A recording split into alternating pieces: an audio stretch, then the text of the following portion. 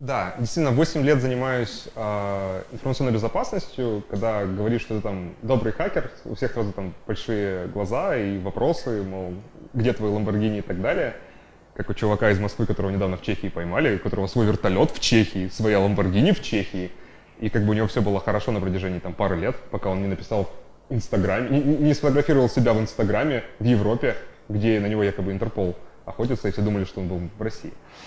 А, да, 8 лет занимаюсь профессионально, 13 лет занимаюсь э, в принципе, то есть все начиналось еще с моих школьных лет, игрушечек, когда мне было интересно их там поковырять, посмотреть, как чисто теоретически работают кряки. Ничего, конечно, не крякайте, это незаконно, не надо, не делайте этого. А, в исследовательских целях. А, вот, на данный момент я являюсь Chief Information Security Officer в одной американской компании – численностью, с численностью стафа больше тысячи человек. Также являюсь владельцем компании SoftSec, которая тоже американская компания, занимается исключительно информационной безопасностью. Вот тут даже сидит э, мой подчиненный, пчелка трудящаяся, которая работает на благо безопасности всех. Что-что? Коллега, сотрудник. А, ну просто, если я занимаюсь больше менеджментом, то вот Андрей занимается больше технической частью. Поэтому если я сейчас что-нибудь могу там, забыть в силу того, что отошел от технической части не так, в принципе, давно, но отошел, или в силу того, что спал час 50 сегодня, прошу меня простить, надеюсь, Андрей меня там где-нибудь поддержит, подхватит. А, вот, в общем, хочется начать с нескольких картинок про то, какими видят хакеров люди – это вот герой под именем Хакермен из фильма Кунг Фьюри. Наверняка многие из вас его видели. Те люди, которые улыбаются, понятно, кто видел фильм.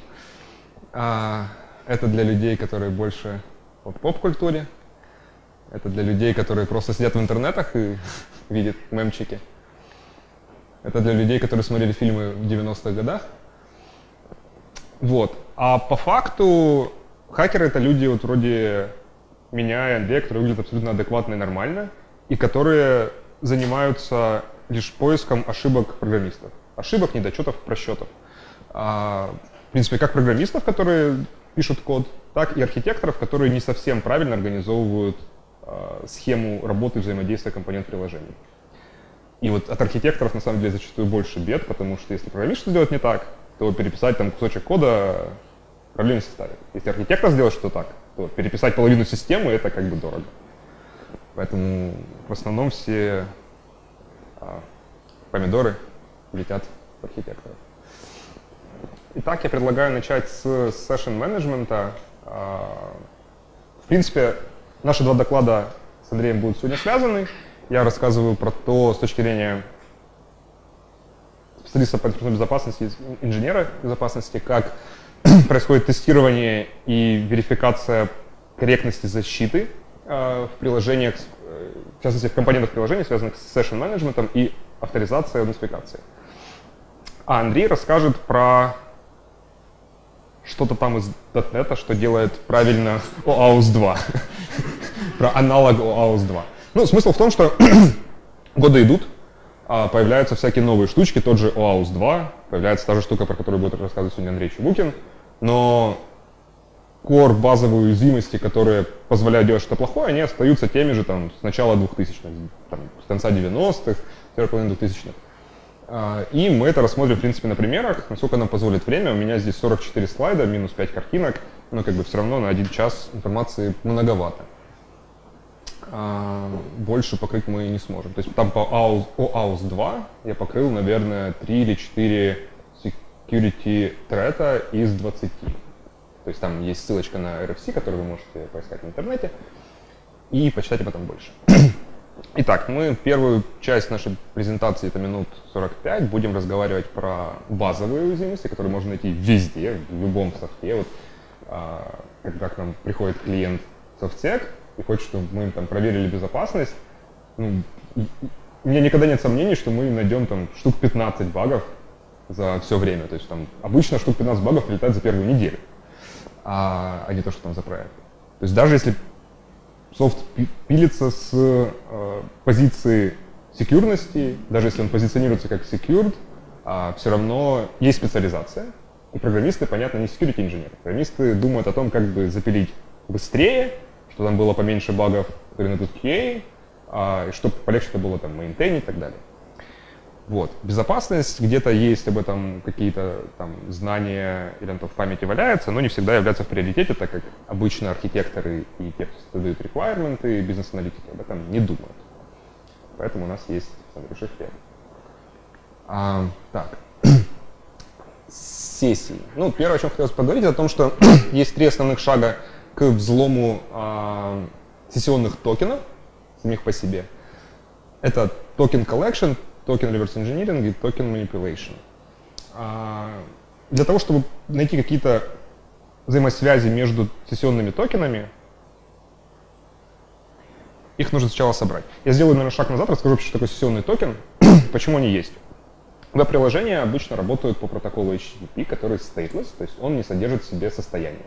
И сервер не знает, от кого прилетают ему запросы, так как он не хранит никакое состояние. Хранить состояние должен клиент и отправлять что-то в своих запросах на сервер, чтобы сказать серверу, что, мол, воу, чувак, это там я Вова, я Андрей. А, это можно делать, отправляя на сервер с каждым запросом свой логин-пароль, но это очень не secure но, потому что если кто-то перехватит ваш запрос, у них будет логин и пароль, который можно там, использовать, переиспользовать, пока эти credentials валидны. Сессионный токен — это такое, такой substitution а, вашему юзернейму и паролю, который выдается сервером, и сервер говорит, окей, а, я получил твой login name, твой пароль, вот тебе сессионный токен, например, в форме куки или в форме какого-нибудь там ключа, а, в форме OTP и говорит, что, мол, окей, Вова, я запомнил, что вот этот вот токен, который я тебе выдаю, это твой. Когда ты мне будешь приходить, отсылать запросы с этим токеном, я буду знать, что ты там Вова Гарбуз.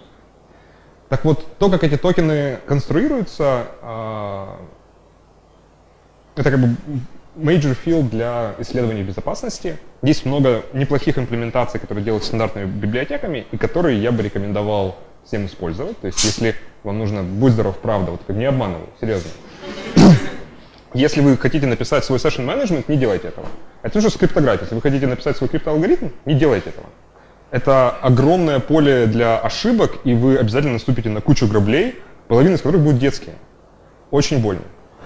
А, то есть что мы делаем, чтобы взломать э, сессионные токены? Мы их собираем в большом количестве, Затем делаем статистическую корреляцию разными способами для того, чтобы найти взаимосвязи между разными байтами, битами в разных позициях. И таким образом мы можем узнать, а, какая истинная энтропия этого токена. То есть, по идее, токены должны быть максимально рандомными, не содержать в себе никакой информации о том, кто этот пользователь, а, и просто связываться в памяти сервера с каким-то конкретным пользователем. Часто так бывает, что когда записывается какая-то реальная информация, часто очень даже реальная, и токены бывают очень простыми, из-за чего их можно подделать. И, соответственно, вы можете получить доступ к сессии какого-нибудь пользователя, не будучи этим пользователем, не зная его логин, пароля. Просто потому, что вот эта вот штука была имплементирована плохо. А, то есть это token reverse engineering, это то, как раз, где мы сравниваем токены между собой в большом количестве. Ну, token manipulation я уже тоже рассказал. Вот на примере а, приложеньки это... А, да, кстати говоря, это скриншот из OWASP WebGoat. А, к сожалению, информационная безопасность, как она должна преподаваться, нигде не преподают, по крайней мере, в Украине. И я знаю, наверное, ну, наверняка я знаю лишь один университет в мире, который информационную безопасность, которая должна преподаваться. Это Carnegie Mellon University в Соединенных Штатах. Так вот, Э, в интернетах есть приложения, на которых можно учиться информационной безопасности, определенные ресурсы, и это одно из них. То есть вы можете там, если вам интересно, зайти в Google, найти WebGod, найти организацию WASP и поиграться с ним. В нем много есть уязвимостей, описание к ним, почему это плохо, как это эксплуатировать, как, как это использовать. Вы можете прям своими ручонками там, за несколько вечеров разобраться с основными проблемками. А, это скриншот оттуда, где мы собрали большое количество токенов. То есть здесь, э, как мы видим, я не знаю, видите ли вы на задних рядов, токены выдавались а, на протяжении двух секунд, с 27 по 29 секунды этого времени. И мы видим, что у токенов первые три байта, э, первые три, точнее, цифры э, одинаковые, затем идут sequential numbers, э, просто увеличиваются на одну, то есть это очевидно просто номер сессии. Затем идет какая-то дичь, которая нам не интересна, потому что она одинаковая везде. И затем последние четыре цифры — это что-то, что отличается там друг от друга в районе нескольких сотен. То есть это означает, что если в такой схеме мы будем continuously получать сессионные токены, и кто-то в этот момент, пока мы их получаем, там, например, 10 а, раз в секунду, залогинится в приложение, легитимный юзер, мы увидим пробел в sequential номерах. То есть мы видим, что там было у нас 37, потом хоп, а сразу 39, не 38. И наше число вот здесь будет больше, чем у пользователя, который легитимно зашел. И мы сможем сделать brute force, на единичку отнимая, и пробуя эти сессионные токены в приложении, э, каждый раз отнимая здесь на единичку и посылать sequential номер 38, который был пропущен в нашей серии, и получить доступ к его сессии. Это на самом деле встречается в реальных приложениях, ну, как бы неоднократно. А порой здесь хранится время, то есть, ну, как бы время тоже легко можно подобрать. То есть, если это десятки или сотни тысяч запросов, то это реально подбирается. Если это там миллионы запросов, то это может превысить время жизни сессии. А... Или вот токен может быть вот таким, то есть он как бы вообще не рандомный ни разу, в нем прям есть реальная информация. И вот мы здесь видим, например, у нас а, username сабмитается. И вот если в таком токене мы заменим, например, там username на админ, то мы станем админом, грубо говоря. Ну или, по крайней мере, мы имеем а, очень сильные подозрения, что это будет возможно. Вот здесь, как бы включать даже тестирование, нужно протестировать, так это или нет. Если у нас white box тестирование, мы имеем доступ к коду, мы можем сразу даже посмотреть. А, поэтому хранить какую-то логику в данных, которые прилетают от пользователя, и доверять им, даже если вы их там зашифруете, если вы их а, хэш от них рассчитаете, это все некорректно. Все, что прилетает от пользователя, не должно быть доверимо. А, в плане конкретной информации. Вот, насчет криптографии. А, бывают уязвимые криптографические алгоритмы, а бывают а, неправильные использования криптографических алгоритмов людьми, которые как бы с криптографией слабо знакомы. А, в данном случае у нас есть два, а, два клер текста, две картиночки и два сайфер текста, которые шифруются при помощи а, одного и того же ключа stream cipher ом, то есть шифром, который э, шифрует байт за байтом последовательно. То есть там есть два основных вида симметричных шифров, опять-таки долгая тема, которые делают блоками по сколько то байт или по байту отдельно. Ключ, который переиспользуется, тоже очень рандомный. То есть мы видим, что у него очень высокая энтропия, но при этом, если мы сделаем XOR вот этих вот двух штук, цифертекстов, то мы получим что-то очень похожее на реальные данные. Грубо говоря, инверсию комбинации э, реальных данных. И здесь не играет даже роли, какой алгоритм используется. То есть здесь может использоваться RC4, который э, вы ежедневно используете у себя дома HTTPS сайтах. То есть, например, когда вы там коннектитесь на google.com, у вас там HTTPS написано типа безопасно, уже RC4, по-моему, забанен в новых версиях. Если вы используете старый браузер, или вы там, не знаю, садите за мамин компьютер, там Windows XP, там вообще дичь, там используется вот это. Если этот алгоритм, который уже даже был доказан, что он сам уязвим, ну, без разницы, какой-то хороший алгоритм, который э, шифрует поток байт, то есть является stream cipher, использовать с одинаковым ключом, то получится такая уязвимость.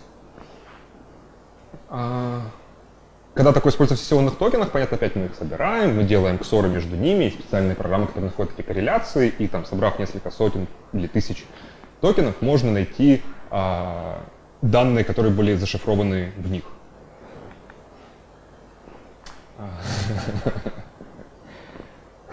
Это как бы скриншот из реального проектика, который когда-то я прям лично руками ковырял в одной очень большой международной трансконтинентальной корпорации, название которой вы все знаете, ну, я не могу рассказывать. Но смысл в том, что там использовались такие вот сессионные ключи, это последние, это концы сессионных токенов, и Тут как бы несложно заметить, что они связаны. То есть, опять же таки, сессионные токены получались э, последовательно в большом количестве, то есть там за секунду, может, их, не знаю, десяток собирал. И мы видим, что здесь у нас циферки одинаковые, потом хоп, там плюс один. Здесь у нас плюс какое-то значение, очевидно, в зависимости от задержек сервера. А здесь у нас какие-то значения, здесь и здесь. При этом они все отличаются друг от друга примерно где-то на 10. Вот мы можем даже на, взгляд сразу посмотреть, ну, как бы, когда это сделал немножко research а, я понял, что они действительно отличаются на 10. Это означает, что за вот этими вот штучками прячутся конкретные э, аски значения чего-то, что отличается друг от друга не более чем на 10 шагов. Что у нас отличается не более чем на 10 шагов? Ну, 10 пальчиков, частичная система счисления, да, циферки. И в итоге оказалось, э, что я про, про, про brute force, ну, я подумал, что наверняка там используется какое-то э, смещение XOR с чем-то, и я просто взял э, байтики все последовательно для каждой строчки, про XOR ил, и вот, например, нашел, что для последней строчки байтик 77, по-моему, если его отнять этого значения и перевести в реальные как бы, цифры, то мы получим вот такую строчечку. И мы по факту расшифровываем токен. И расшифровав этот токен, поняв этот алгоритм, мы можем зашифровать что угодно. И оказалось, что вот таким вот алгоритмом шифровалась строка вот прям практически такая. То есть там шифровалось время э, логина, причем не слишком рандомизированное, то есть там типа э, секунды, ну короче, оно очень легко подбиралось. Имя пользователя, его роль и что-то еще. И я, короче, мог сделать э, своего пользователя кем угодно в системе, которая обрабатывает industrial вещи для major компаний, а, ну как бы для Airbus, для Boeing, для Volkswagen, BMW и так далее. То есть это как бы не, не наши были клиенты, поэтому как бы, ну, я могу об этом рассказывать. У них очень много вендоров. А, вот, то есть даже как бы у больших именитых компаний есть очень большие глупые дырки. То есть, если вы видите там софт, не знаю, придат Microsoft, это не означает, что там все прям хорошо. Всегда можно где-то поискать, поковыряться, найти интересного, засобмитить и получить хорошие деньги, потому что у больших компаний обычно есть большие баг-баунти программы. А, еще забавная штучка это когда шифруется что-то а, потоковым шифром, то есть байтик за байтиком. Мы не знаем, а, мы можем даже не знать позицию данных, которые нам нужны, она может повести, а можем знать и не знать ключ, которым это было зашифровано, и все шифруется правильно. Но если мы знаем, например, что 50-й байтик в этой позиции отвечает а, за вот такое вот значение, там типа админ равно 0 или админ равно 1, нам достаточно просто бит вот этого вот байта последний обернуть. Если здесь нолик сделать единичку, если единичка сделать нолик. И оно расшифруется на сервере в инверсию с разницей в один бит того, что там было. Нолик превратится в единичку. Таким образом, грубо говоря, зная позиции байт, которые мы хотим изменить, а, ну, если это если этот стрим не слишком длинный, или если мы хотим хотя бы, если мы хотя бы можем какими-то короткими порциями это верифицировать, то мы можем заставить clear текст э, этих зашифрованных данных, то есть э, эти зашифрованные данные можно заставить расшифроваться во что угодно, не зная даже ключа. Это называется э, known plain text атака. То есть когда мы знаем структуру plain текста, не знаем э, ничего про ключ. И нам и не нужно. Вот, ну, как бы все описано, бла-бла-бла, админ на единичку. Да? То есть, а для того, чтобы вот эти штуки делать, для того, чтобы их тестировать, нужно, получается, просто... Э, Магия. Уже с кодом, ну, то есть, для того, чтобы тестировать штуку. Все понял, я дурак, извините. А... Ну, вот эту конкретно. Вот эту. И эту конкретно, и что угодно, все это тестируется на уровне HTTP протокола то, где у нас есть доступ в код, мы можем просто пойти и почитать, посмотреть, как он там реализовано, реализовано хорошо или нет, если мы знаем правильные требования кода. А это все как бы речь идет о том, как тестируется без знания кода, грубо говоря, в блэкбоксе, либо просто в знании работы приложения. То есть ты, э, например, можешь скачать из интернета это приложение. Ты устанавливаешь ключ, которым шифруются сессионные токены. Ты устанавливаешь его в что-то, что ты знаешь, а, дешифруешь токен, потому что ты сам в админке установил этот ключ, смотришь, что, о, вот в моей в моем инстансе приложения, которое там скачал какой-нибудь с торрента, да, или там купил, не знаю даже, для того, чтобы сделать этот research, я вижу, что там такая вот структура. Я вижу, что там в 50-м байтике хранится значение админ равно чему. И ты идешь на систему, которая real world, которая, которая там где-нибудь у SaaS используется, или там у какого-нибудь, не знаю, Samsung, потому что они используют там какую-то прилагу жира, скажем, да, и ты ее хакаешь. Но тебе не нужен был код для того, чтобы найти этот баг. Тебе нужно было просто сделать свой инстанс и поковырять его ручками. Это как бы уже one step away from black box. Вот, но это даже еще не grey box.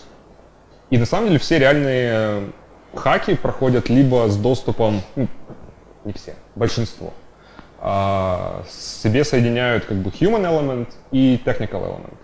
То есть либо human element это вообще вся составляющая атаки, то есть он там, не знаю, сливает коды доступа, либо вам хотя бы сливают информацию об инфраструктуре, что там и как, и, возможно, даже какие-нибудь бинари софта, которые там используются. И вы его ресерчаете и смотрите, как его можно сломать. То есть э, всегда есть такой cooperation. То есть вот эта информация о том, где там, в каком байтике что находится, это небольшой секрет. То есть нельзя сказать, что наш софт проприетарный, его никто в мире не знает, ну, кроме тысячи людей в нашей компании. И поэтому нас не взломают. Ну, тысяча людей, как бы, знаете, там, в компании больше двух, там, как там говорят, типа, про секреты, что да, вообще их не бывает, в том числе и между двумя людьми. А,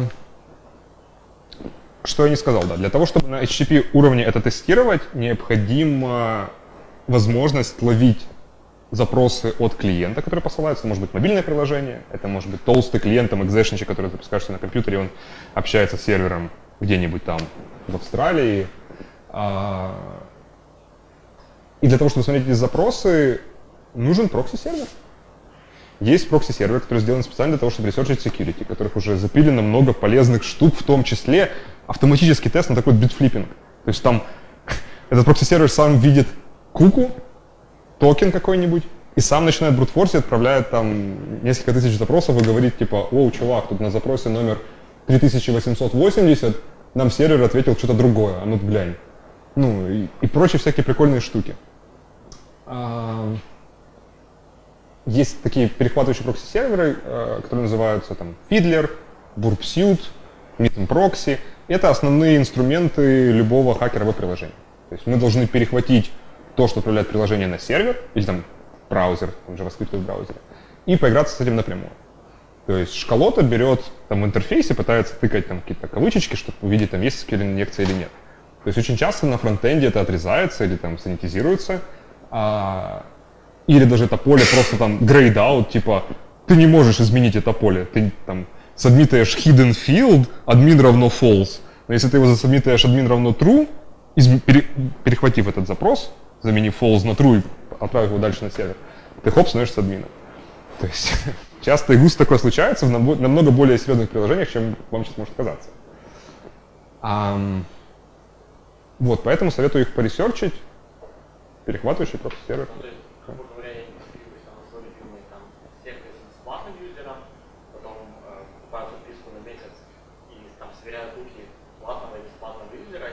Ну, один из способов. Это один из способов. У человека есть способности к этому. Ну вот как бы вот таких вот схем побольше придумываешь, пробуешь, и десяток отваливается, на одиннадцатый у тебя success.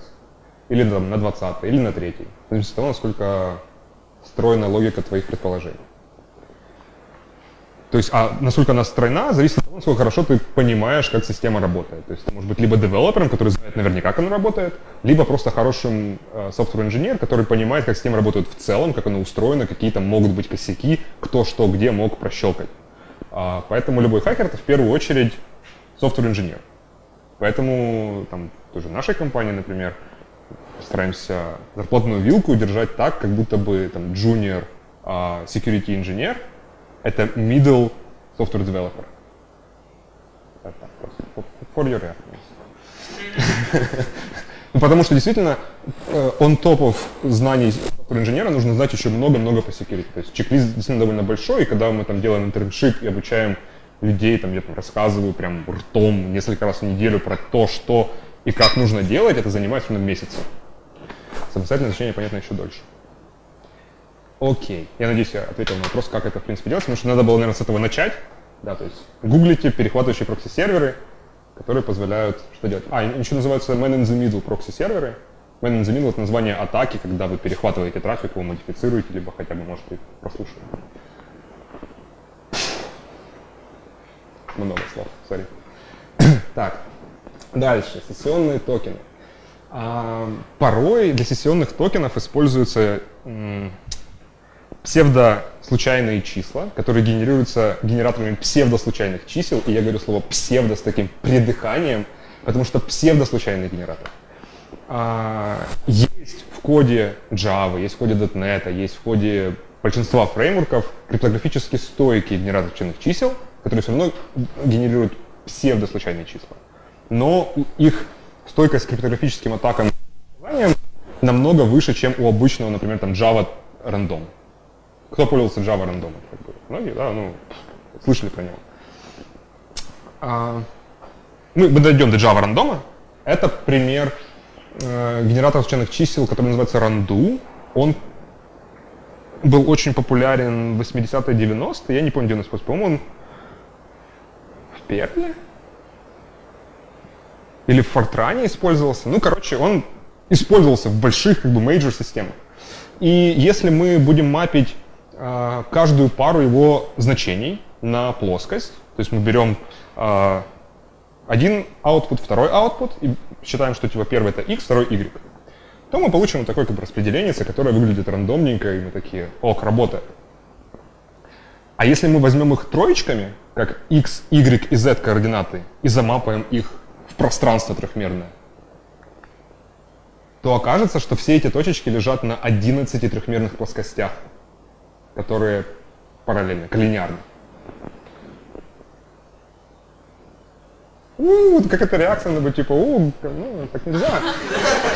Ну, то есть, это не, это не случайных чисел, на который можно надеяться. То есть, понятно, что здесь э,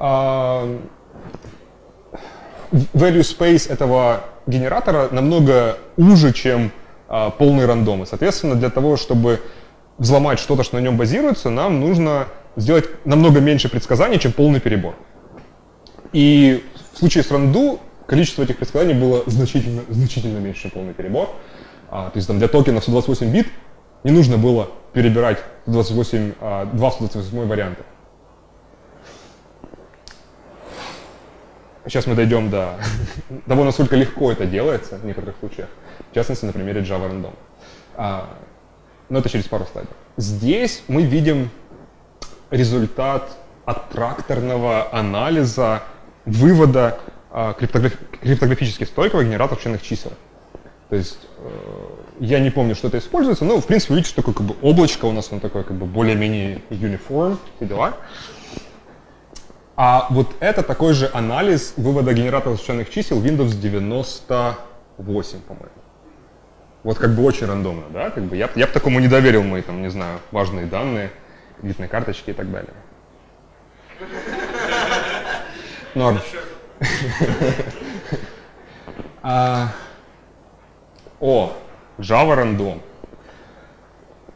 Вот этот код, вот эти, сколько, 5-8 строчек, включая random, new random, это все, что нужно, чтобы предсказать все будущие output генератора случайных чисел, имея 2.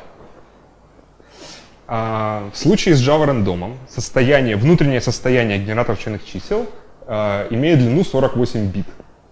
Но при этом ответы его а, при вызове метода nextInt ограничены 32 битами. То есть мы имеем потерю размерности этого состояния в 16 бит. Это означает, что мы можем взять один output, второй output, и к первому из них и, и найти seed, при помощи которого они были сгенерированы. Если мы к первому из них прибавим, а, пробрутфорсаем 2 в 16 разных вариантов, то есть у нас 30, 48 минус 32 это 16. Вот 16 битиков нужно пробрутфорсить. 16 битиков это всего лишь 65 тысяч вариантов. На современной технике это брутфорсается, ну как бы, вы моргнуть не успеете. А, мы знаем формулу, по которой строится а вот под этого генератора случайных чисел называется линейный конгруентальный генератор псевдослучайных чисел.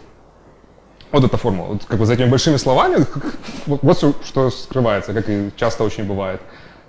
Seed, то, с чего мы э, начинаем наш как бы э, генератор случайных чисел, то, что мы там выбираем каким-то рандомным способом, не знаю, бросаем монетку, умножается на мультиплеер, который известная константа, плюс addendum, который известная константа, а, битовая и с маской, которая известная константа, все как бы в Java есть.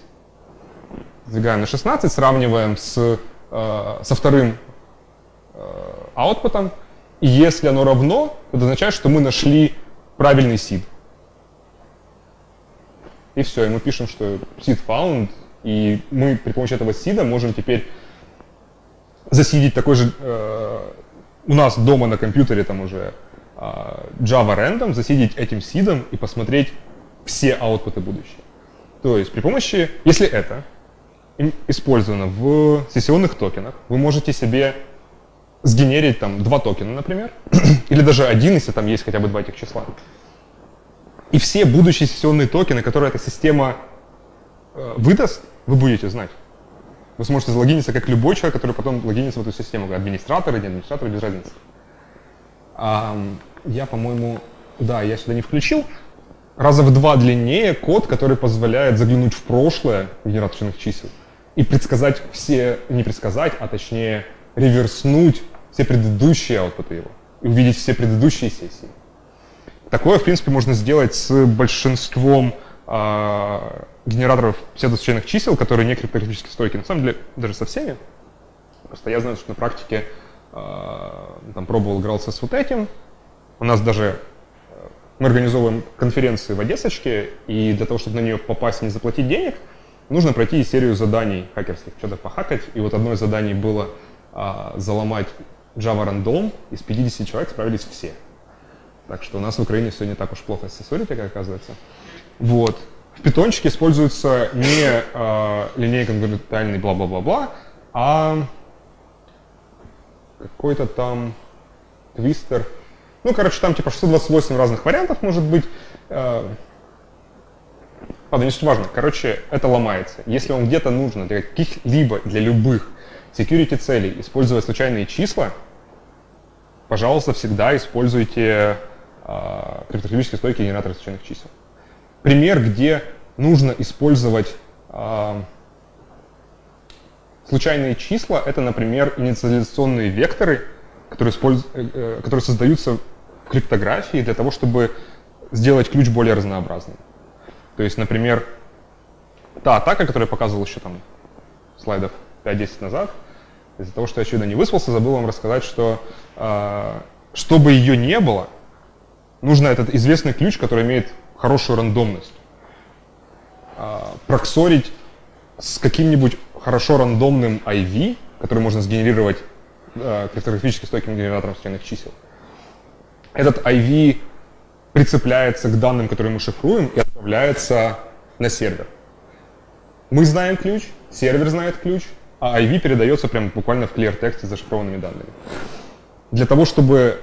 И при этом этот IV, он все время разный он передается в clear тексте, он все время разный, ключ одинаковый, но зашифрованные данные оказываются совершенно разными. И атака, которую мы тогда провели, не будет работать. И это правильная имплементация для всех стрим-сайферов. Нам всего-то навсего было достаточно знать это, и мы спаслись от таких больших проблем. Но опять же таки, об этом нужно знать, об этом нужно там почитать, либо иметь у себя в команде security инженеров, которые вам об этом расскажут. Это на самом деле более правильный э, путь, потому что трекать это все, исследовать, вкладывать время в то, чтобы следить за новостями, где что поломали, то, например, что SHA-1 уже небезопасен, его крэкнул Google. Ну, это занимает время, и как бы девелоперам не стоит на это отвлекаться.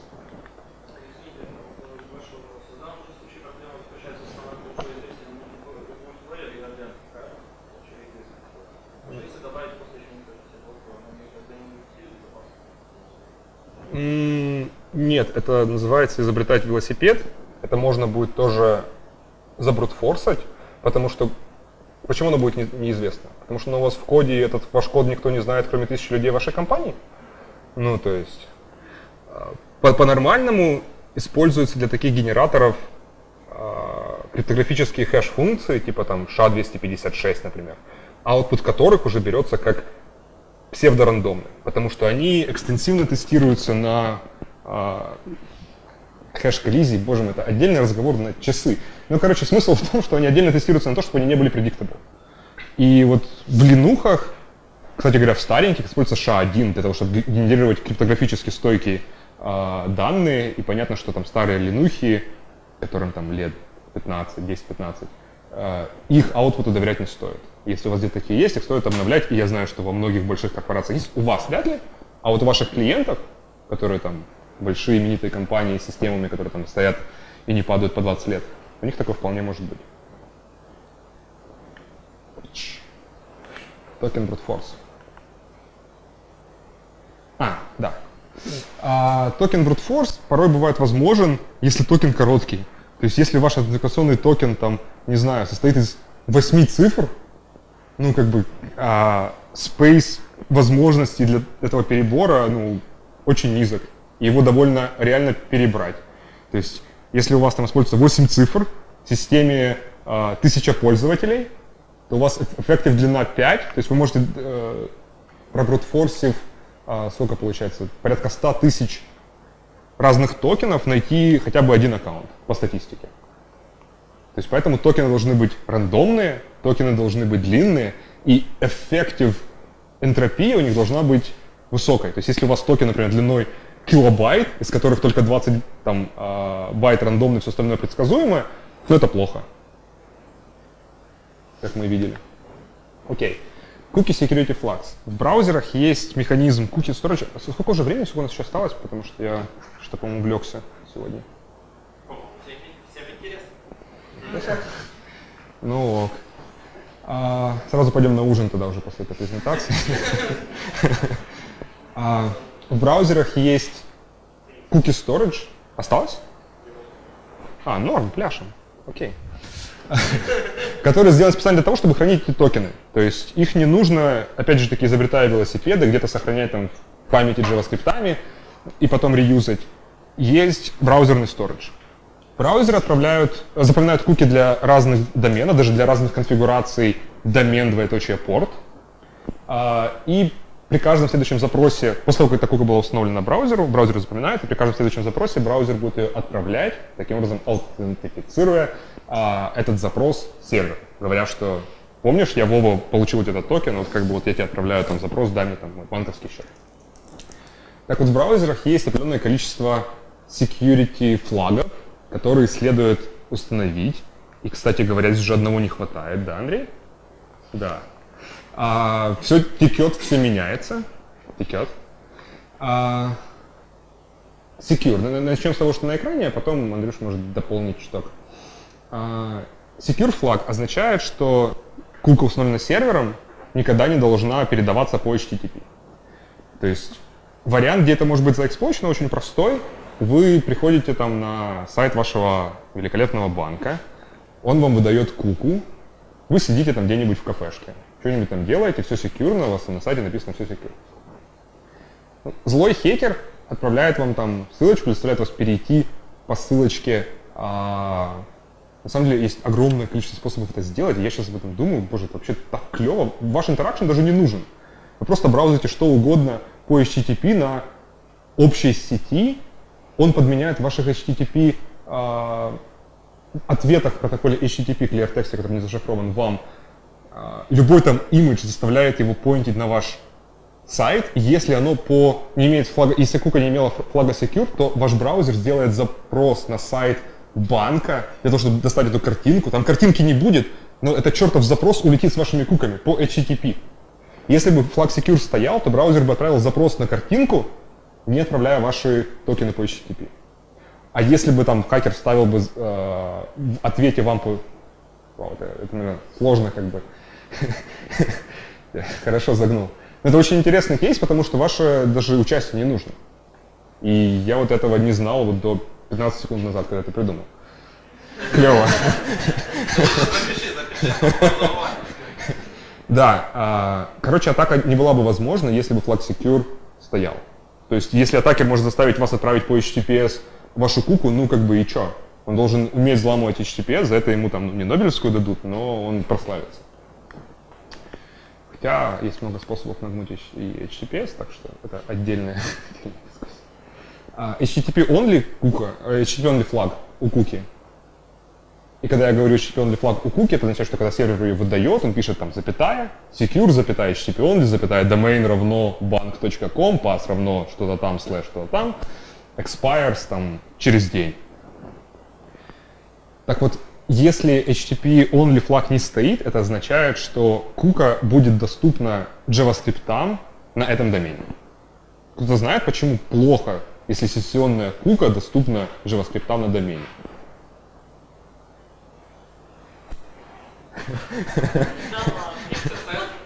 Да.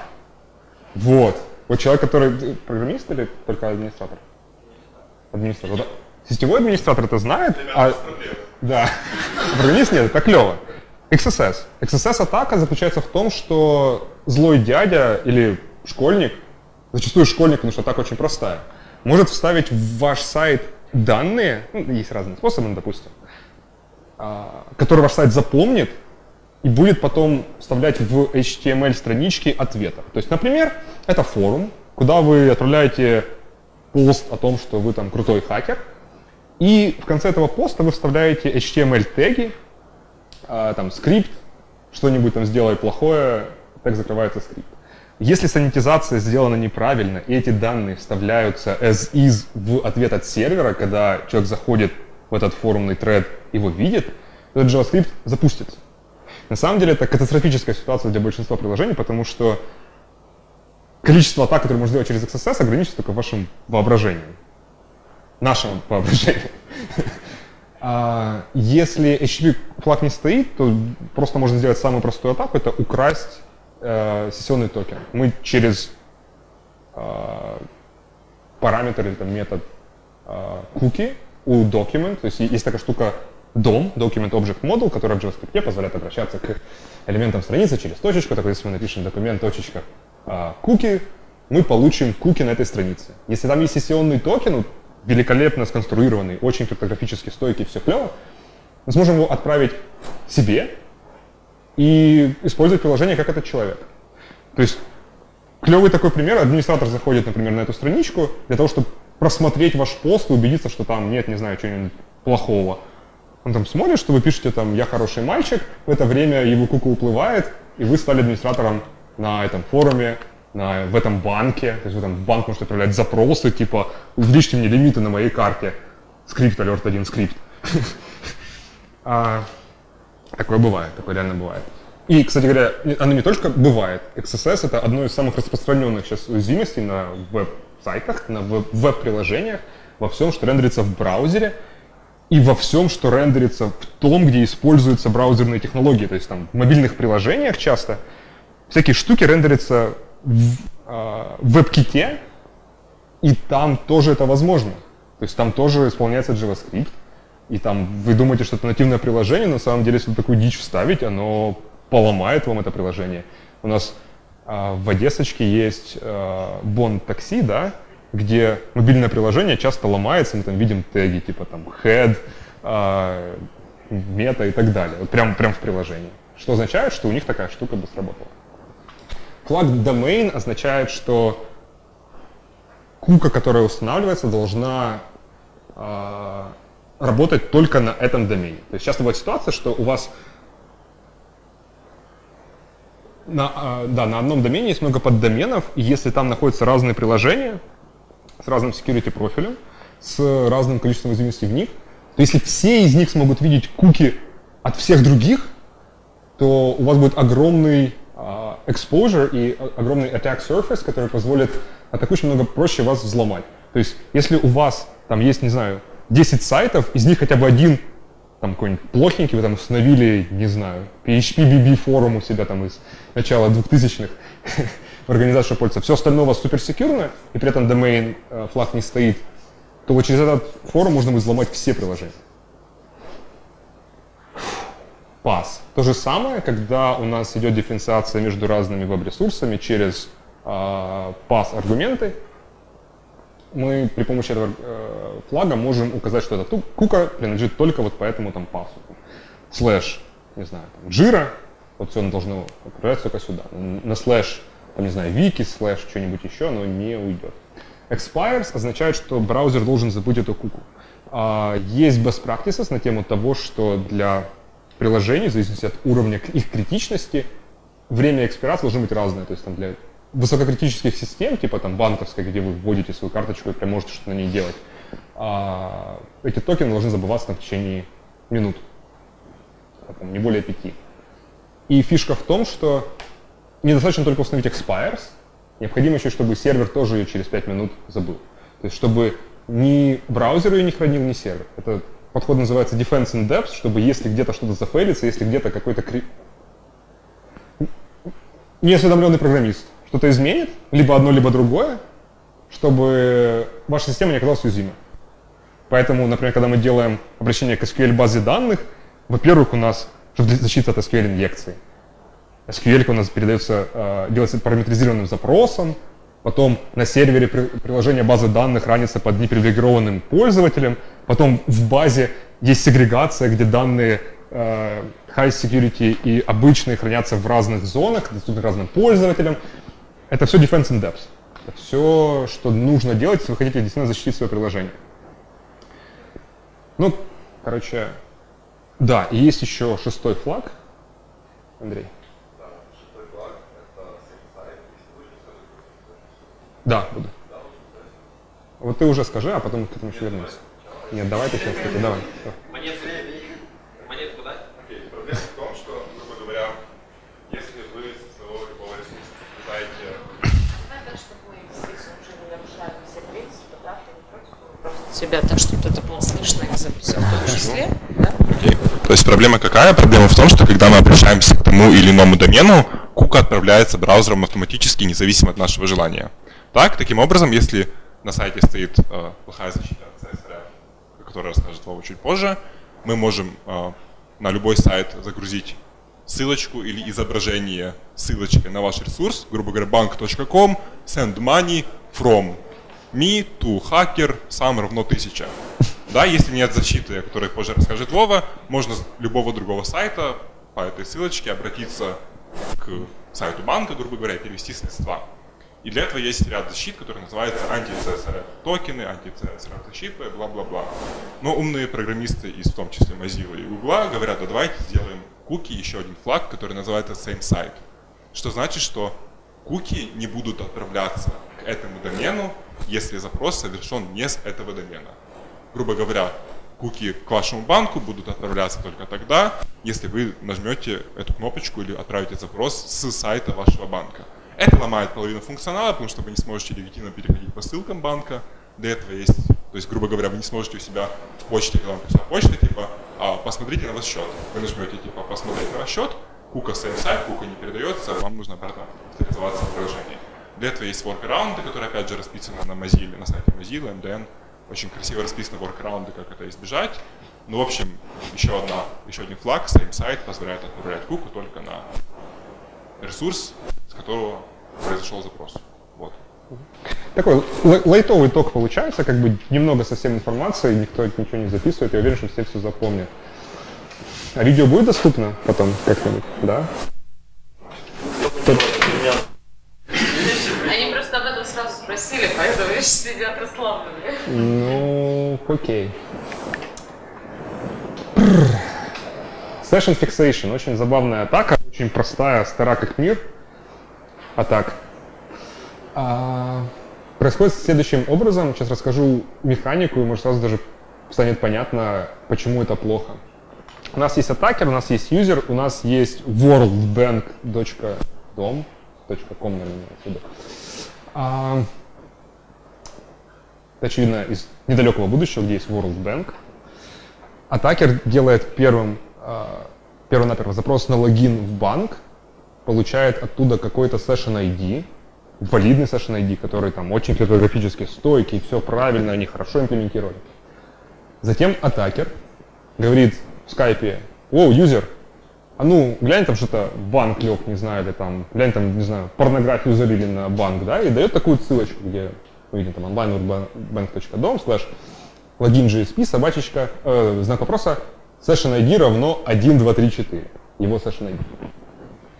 Юзер переходит а, на World Bank, нажимает на эту ссылочку, делает get запрос на GSP с, session, с URL параметром session ID равняется 1, 2, 3, 4. Ему возвращается страничка, мол, введи свой и пароль, он вводит свой и пароль. И вот если банк в этот момент берет и использует значение вот этого session ID и говорит типа ок, юзернейм, твой пароль соответствует, Поэтому я запоминаю, что session ID 1, 2, 3, 4 твой. Если вот этот глупенький сервер это сделает, то атакер получит доступ к серверу такого же уровня, как и юзер. Они оба смогут при помощи этого токена использовать э, один и тот же ресурс. А, это встречается реально очень часто. Мы...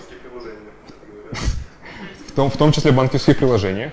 И, понятно, вызывает большие проблемы. В Java это особенно... Что? Как насчет привязки Session к API? Это порой работает, а, зависит от приложения. То есть, если у вас должна а, кука переживать изменение IP-адреса, то есть там человек будет пользоваться то с работы, то с дома, то еще, то это как бы не будет работать. В принципе, это один из механизмов, а, он усложняет процесс, но как бы ничто не достоверно полностью. То есть в идеале Во. О, стопе.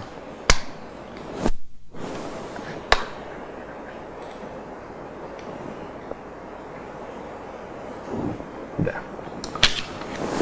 Вот, то есть в, в идеале э, сайт должен всегда выдавать новый сессионный токен и никогда не авторизовать старый. То есть в Java это практически нативно сделано неправильно, э, но и порой бывает имплементировано неправильно в других приложениях, где подобным образом аутентификация работает.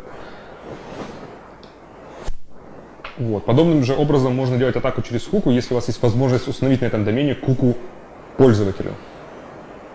Например, через ту же XSS, если он еще там не авторизован.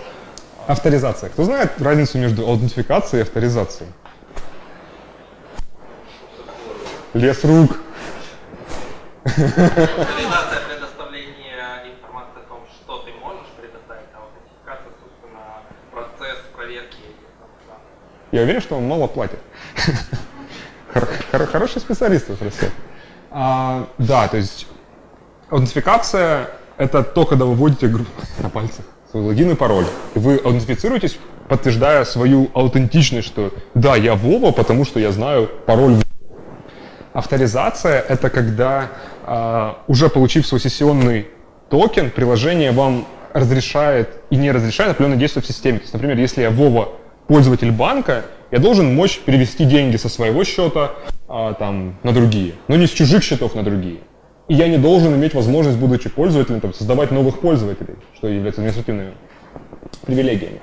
Поэтому есть атаки типа privilege escalations, которые двух в основном типов, вертикальные и горизонтальные. А, как, собственно, может быть понятно из моего предыдущего примера и этих слов, вертикальные это когда привилегии а, пересекаются между разными уровнями привилегий, пользователь админ, пользователь суперюзер, суперюзер, там, контент админ админ. И горизонтальный, когда это между разными пользователями, когда вы можете с аккаунта другого пользователя сделать. А, некоторые примеры того, почему это возможно, на самом деле очень есть много разных логических а, проблем, которые это позволяют сделать. Инвойс равно число. Эта презентация, я ее писал еще давно. к сожалению, которую мы это нашли, запретил нам об этом рассказывать, потому что не хотят иметь проблем. Ну, скажем так, организация, которую взлом... Хм, хорошо. А, да, короче, в определенную компанию пришел фишинг-письмо аккаунтинг, э, э, бухгалтеру о том, что, мол, Воу, вы тут платите нам денег за последние там вот пару лет вот ваши счета, а заплатите-ка нам вот еще вот по этому счету тут типа за месяц май. И ссылочка ведет на там какой-то сайте, где что-то там сам page, там было написано там, допустим, чем, знак вопроса, invoice равно число. И человек заходит туда и видит там реальный как бы инвойс со всеми креденшалами его, и, ну, как бы, все легитимно, хочется оплатить.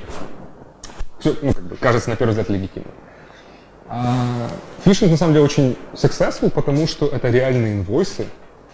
Реальные инвойсы, вытащенные с реальных серверов компании, которые вы все знаете, вообще все. И компании, которые, чьи инвойсы были украдены у этого сервис-провайдера,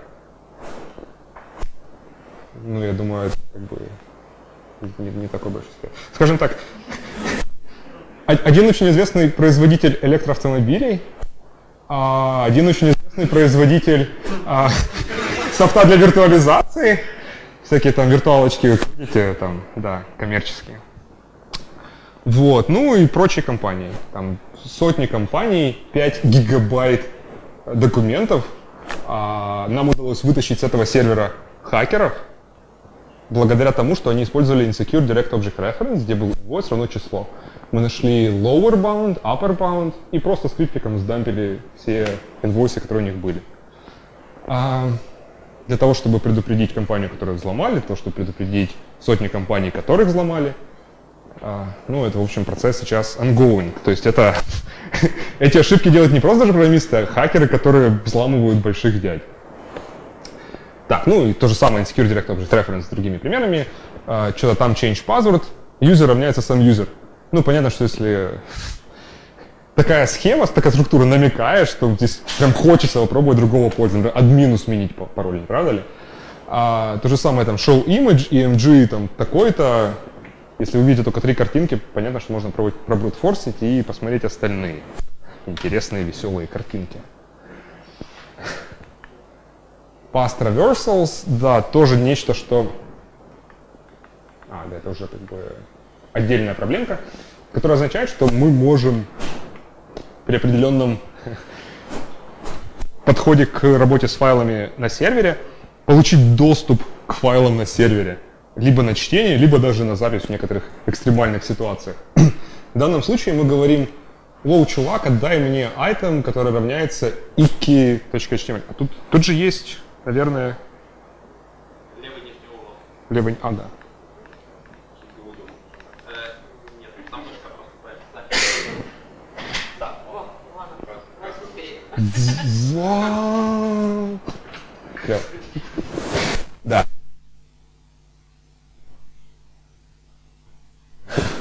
Окей.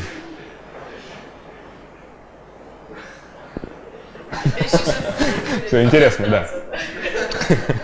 Окей. Ики HTML. Понятно, что это а, может быть именем файла на файловой системе. Давайте протестим, давайте мы знаем, что сервер на Linux, или предполагая, что на Linux. Ставим туда path backtrack symbols. То есть точка, точка, слэш. У нас что делает, выходит в предыдущую директорию. И вот мы делаем там какой-нибудь. Вау, тяжело. Так, ну ладно. Всё, на. Я так буду полчаса еще играться. Выходим в корень, заходим в add, заходим в password и читаем наш password файл. Если прилага ранится под рутом, что бывает нередко, к сожалению, мы можем еще и shadow почитать. Если это используется там не в get user profile, а в write user profile, и мы можем сделать вот такой же pass traversal, мы можем overwrite shadow или overwrite password файл. И ну, со всеми вытекающими последствиями. Либо прочитать логи приложения, в которых там хранятся порой очень дикие вещи, там вроде тех же номеров кредитных карточек или юзернейм паролей. Типа, воу-воу, этот пользователь залогинился там с таким-то паролем. Зачем это хранится, я искренне не понимаю, но как бы это часто бывает. Аутентификация. Вот. И теперь мы говорим про то, где мы сабмитаем наши логины и пароли. Еще одна картиночка, чтобы знаю, проснулись. А, как выглядят взломы в кино вверху. Много там всяких хитрых слов, чувак такой там сидит, набивает на клавиатуре. И в реальной жизни парень просто звонит и говорит типа Hi, this is Robert Hackerman, I'm the county password inspector. Hi Bob, how can I help you today?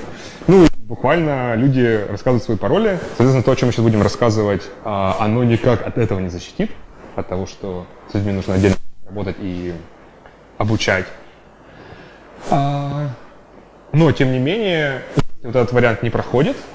Либо нет, нет контакта с людьми, либо они неизвестны. То можно сделать, попробовать сделать всякие атаки на аутентификацию. А, Первое, что не стоит делать, это ну, в принципе, любые credentials через HTTP. То есть, если у вас есть любая система, которая должна быть э, защищена, нужно использовать HTTPS. И речь идет не о том, что там могут быть какие-то sensitive данные в своем приложении, которые кто-то может увидеть. То есть это может быть любой сервис, например, а, в вашей организации быть какая-нибудь там wiki или файл storage, который а, использует ваши доменные credentials. На этом файл storage может быть полностью публичная информация.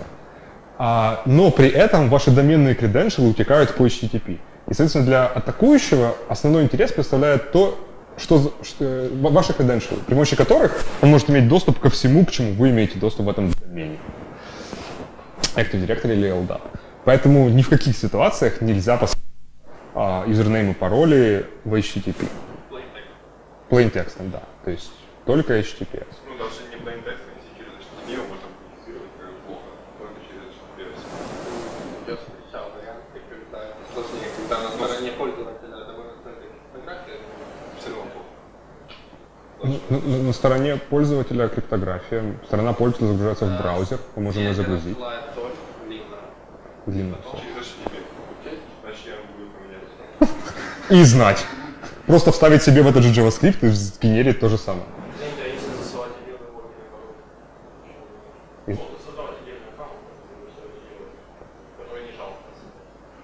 Ну, для особо ленивых, кому совершенно влом сделать HTTPS, ну, отдельный аккаунт и помните пароли, записывайте на бумажечке, там, клейте на экран. Ну, можно так, да. То есть главное, чтобы важные данные не утекали. Просто часто вот эта ситуация всплывает именно тогда, когда доменные credentials, которые имеют много где. Да даже если не доменные credentials, а просто какие-то credentials, люди — это люди, запоминать пароли сложно. Поэтому они делают один пароль и используют везде. В банке, в почте, там, не знаю, на порно-сайте. Интересная реакция. Еще одно не-не, не стоит делать, это отправлять данные по HTTPS из формы, которую клиент получает по HTTP. Типа, чувак заходит на HTTP endpoint, получает, загружает HTML и когда он нажимает send, все уходит на HTTPS. То есть, когда он нажимает send, его credentials действительно утекают зашифрованными.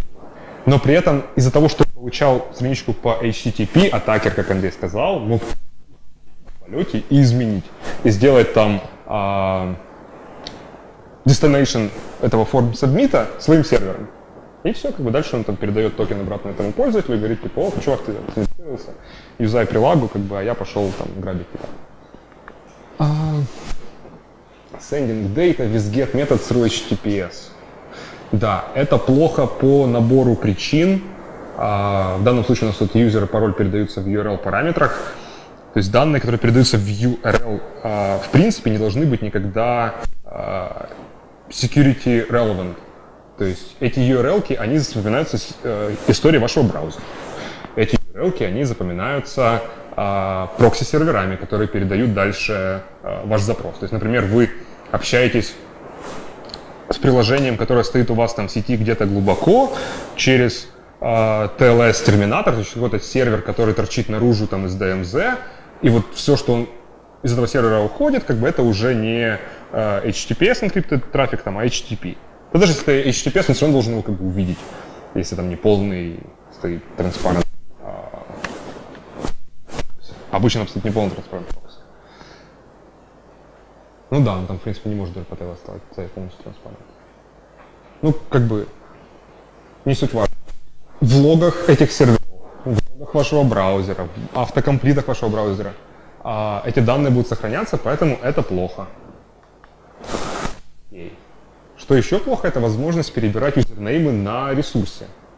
То есть это бывает возможно, когда login error месседжи отличаются для разных э, сценариев. То есть, например, есть хакер, который пытается там, получить доступ к Твиттеру. А, он может засобмитать username и пароль, а, неправильный username, неправильный пароль, и правильный username, и все еще неправильный пароль.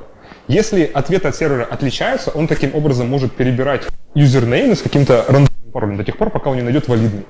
Например, если это e-mail, он может перебирать e-mail на Gmail, смотреть, как бы, какие пользователи пользуются Твиттером, и потом их а, пишете, отправляете им письма на этот email, говорите, типа, алло, алло, ваш там твиттер аккаунт был компрометирован, нам нужно срочно изменить ваш пароль на секьюрный 1, 2, 3, 4. А, и там, кликните сюда, типа, там, на ссылочку, да, и там написано не твиттер, а твитор, а, там, не знаю, какой-нибудь с ноликом.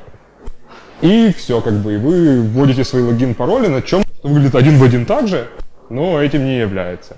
Недавно была атака, где а, благодаря тому, что в DNS именах можно теперь делать юникодные символы, и там появилось много символов, которые выглядят абсолютно идентично. Это, например, ссылочка на Microsoft с буквой I, которая не I, а символ номер там 3000 такой-то, а, работает и выглядит абсолютно идентично у вас в браузере. То есть вам может прийти письмо от говорит, смените ваш пароль на Твиттере, где буква I, черт возьми, просто не I.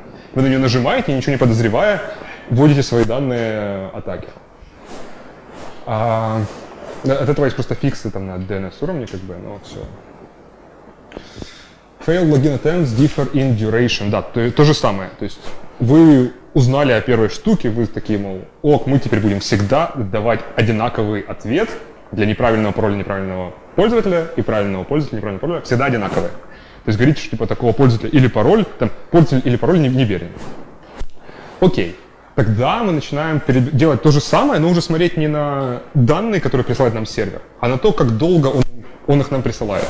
Часто и густо бывает так, что, например, для сценария неправильный пользователь, неправильный пароль, ответ нам отдается 500 миллисекунд, а правильный пользователь, неправильный пароль 100 миллисекунд. И мы немедленно знаем по разнице задержки, что этот пользователь есть. Такое часто бывает, ну как бы простой пример, когда у вас за вашим сервером стоит LDAP, у вас в LDAP есть 10 серверов, и если мы вводим имя правильного пользователя, там идет опрос этих LDAP серверов, мы там получаем с первого, со второго ответ, все ок, занимает там 100 миллисекунд. Если этого пользователя нет, сервер начинает, э, начинает там общаться между серверами, и там 10 разных серверов отвечают, типа, не, у меня нет, спроси еще кого, спроси еще кого, и это занимает дольше. Соответственно, мы точно так же можем брутфорсить а, логины людей. Либо forgot password error message тоже имеет там differences для разных пользователей, если мы там пытаемся отправить письмо на существующий и несуществующий email. Еще прикольная атака, которую можно сделать, называется brute force uh, in breadth, в ширину. Берется тысяча, топ-1000 паролей, берется тысяча пользователей, для каждого из пользователей перебирается эти тысячи паролей, и мы получаем доступ on average к нескольким десяткам аккаунтов. А, еще есть забавная да, штука, которую там, Слава сказал, что утекают большие базы данных паролей там, с Mail.ru, с ВКонтакта, с э, разных, короче, больш... с Yahoo, э, с разных больших сервис-провайдеров, просто миллионы аккаунтов с паролями, с реальными И так как пользователи имеют тенденцию переиспользовать пароли, то просто зная, что у нас есть там э, пользователь Вова 123, который там, мы знаем, у него был пароль на Yahoo два года назад, не знаю, там, QWERTY 123. Высока вероятность, что он его здесь использовал. И тогда как бы success rate будет намного выше. Password brute force. А, тут как бы есть некоторые дилеммы, то есть с одной стороны не следует делать полное блокирование аккаунтов, а, потому что оно позволяет сделать denial service атаку против вашего приложения. Denial service атаки бывают разные. Не обязательно, чтобы сервер лежал и не отвечал. Достаточно, чтобы пользователи не могли пользоваться сервисом. Сюрприз. То есть, если вы там какое-нибудь приложение, которое а, получает деньги от того, что пользователи им пользуются, смотрят рекламу, там, например, это Snapchat, да? а, если пользователи не могут зайти в ваше приложение, вы теряете деньги. И как бы атака denial service против вас эффективна. Если пользователи не могут зайти к вам. Как это делается? Вы берете и просто, э, имея базу юзернеймов, которых вы знаете, либо зная, по какой схеме юзернеймы там выдаются, в корпорациях это обычно первая буква имени и фамилия. Зная просто список людей, которые там работают, вытаскивая с LinkedIn там сотни, тысячи этих людей, можно по этой схеме составить легитимные там, e-mail, креденшалы и залочить их все аккаунты в системе, просто там, по 3 по 5 раз отправив неправильный пароль. Все, никто не может пользоваться системой. Клево? Не клево. А... Что еще не следует делать, так это, да, как это правильно делать, лочить аккаунты на короткое время, то есть там на несколько минут. Либо устанавливать длительные задержки между разными попытками, типа сказать, воу, чувак, хочешь еще попробовать пароль? Попробуй там через э, 5 минут. При этом, если там у нас какое-то количество неуспешных было попыток введено там даже там после пяти минут, например, еще три, мы говорим администратору, типа, воу, чувак, кто-то пытается сделать медленный брутфорс пароля. То есть э, ни, ничто не мешает человеку, там, не знаю, у которого нормальное времени, там, за пару месяцев на тысячу аккаунтов попробовать топ-1000 паролей и задержка в 5 минут между, между каждым. То есть мы в реальных ситуациях видим в логах intrusion detection систем, как раз там в 15 минут с разных IP-адресов, то есть очевидно с какого-то ботнета, прилетает логин attempt администратор там, на Windows, например, администратор там, с паролем QWERTY 1, QWERTY 1.2, QWERTY 1.2.3, QWERTY большими. А, ну, то есть, и оно делает это медленно, чтобы как раз, не, во-первых, не быть задетекченным, той же IDS, а во-вторых, чтобы не попасть на блокировку. Что не стоит делать, так это смешивать э, brute force soft locking и hard locking. Hard locking это когда у тебя э, ты обидел администратора, он говорит типа все, ты забанен и ты не имеешь доступа к серверу. Он тебя там банит, все, навсегда. Если используется один и тот же, например, например, database field для этого локинг, там, например, в базе данных называется locked, и там стоит там а, какое-то значение. Если soft locking при там, трех неправильных паролях пользуется тем же полем в базе данных, то уже за залоченного аккаунта тремя неправильными паролями, обращениями а, к логину, мы можем сделать soft lock, чтобы означать, что там через 5 минут этот аккаунт разлочится, который был навечно залочен. Это тоже как бы сейчас в жизни, ну это об этом вроде как можно и не подумать, действительно. То есть ты это пилишь, там, ну, да, окей, там есть у нас такой там флаг. Типа, о, чуваки, у нас есть там флаг для локинга, да, ну тогда я админ hard locking сделаю через него же тоже, потому, чтобы не, не допиливать новое в базу, сейчас на каждый придется это на тестовые сервера, там, ну, Такое часто бывает. А, да, то есть можно authentication схему просто обойти, сделав direct page request. Очень глупая штука, но часто работает, и поэтому э, она даже включена как часть стандартного функционала некоторых man in the middle proxy, о которых я рассказывал, которые являются основным инструментом, где прокси может сам за тебя перейти по всем URL, по которым ты ходил, будучи аутентифицированным. Не аутентифицированным. Называется Direct Page Request, то есть ты, не будучи авторизованным, можешь видеть только логин page. Ты не знаешь, что, например, есть page admin, page еще что-нибудь там. Допустим, совершенно сторонний человек. То есть, если ты знаешь, что они есть, ты можешь попробовать к ним напрямую достучаться, не имея куки.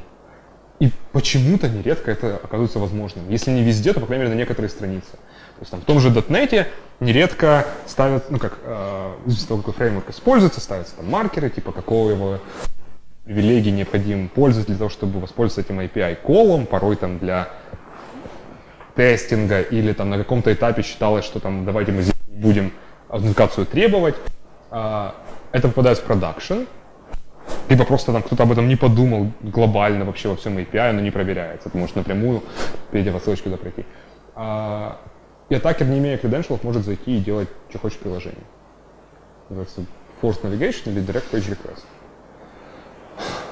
Так, параметр modification,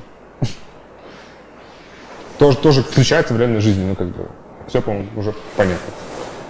А, может быть, людям сзади непонятно, как там authenticated равняется no, меняем на yes.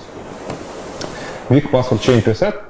А, да, если пароль можно поменять без out of band конфирмации, означает, что мы можем поменять пароли всем пользователям, а, так же, как с их локингом аккаунтов поменять им всем пароли и менять их постоянно. То есть там человек получает e-mail, что типа, ваш пароль изменен, там смотрит, что, что там за пароль, пытается с ним залогиниться, а он у него уже опять изменен, у него еще новый e-mail. Он опять же таки не может пользоваться системой. А, если в password change функциональности password change не требует текущего пароля, то есть просто говорит, типа, введите пароль и повторите ввод нового пароля. Точнее, введите новый пароль и подтвердите новый пароль, если только есть два этих поля. Это означает, что приложение немедленно уязвимо к э, изменению пароля неавторизованной стороной. То есть, например, через ту же XSS можно JavaScript сделать запрос на change password э, страничку от имени пользователя, отправить новый пароль, и пароль изменится, потому что старый не нужно даже знать, чтобы сделать это изменение. Порой на сервер отправляется старый пароль, новый и новый confirmation, но если убрать один из этих параметров, запрос все равно срабатывает. Мы такое наблюдали в Java буквально месяц назад. Мы убираем оттуда старый пароль, и мы можем, опять же таки, сменить пароль, не зная старого. То же самое, возможно, через CSRF, CSD, CSRF мы сейчас доберемся. Ну, пока мы только про XS поговорили, да? Вот все, JavaScript в user браузере мы можем сменить ему пароль. Если администратор, чем полный доступ к ну и если мы разрешаем unlimited failures, то есть там чувак пытается ввести свой старый пароль, и не получается, сменить пароль не получается, то тут потенциально можно делать brute force пароля через ту же XSS. -очку. То есть если это XSS, человек заходит на страничку там, с какой-нибудь статьей, ее читает там минут, то за эти 10 минут uh, JavaScript может отправить десятки тысяч, сотни тысяч запросов на сервер, пытаясь сделать password change. Если там нет лимитации на password change, он может также брутфорсить там, тоже топ-1000 паролей для каждого пользователя. Много-много мест, где можно высадить себе много чуваки, как бы реально. Об этом стоит почитать. WASP, организации Open Web Application а, Security Project, которой я даже являюсь чаптер-лидером в Одессе. Проводим всякие там конференции, мероприятия и повышаем а, ознакомленность людей с этими штуками. Загуглите их сайт, почитайте, там очень много технической информации о том, как это тестировать, как это правильно кодить, с код, с сниппетами, с чем угодно. То есть как бы все на расстоянии вытянутой руки. Так, это последняя секция, которая уже связана с OAuth 2. А, RFC 6819 это как раз RFC, связанная с безопасностью OAuth 2, где перечислены все а, угрозы, которые есть, а, которые там умные дяди придумали, которые могут угрожать OAuth 2.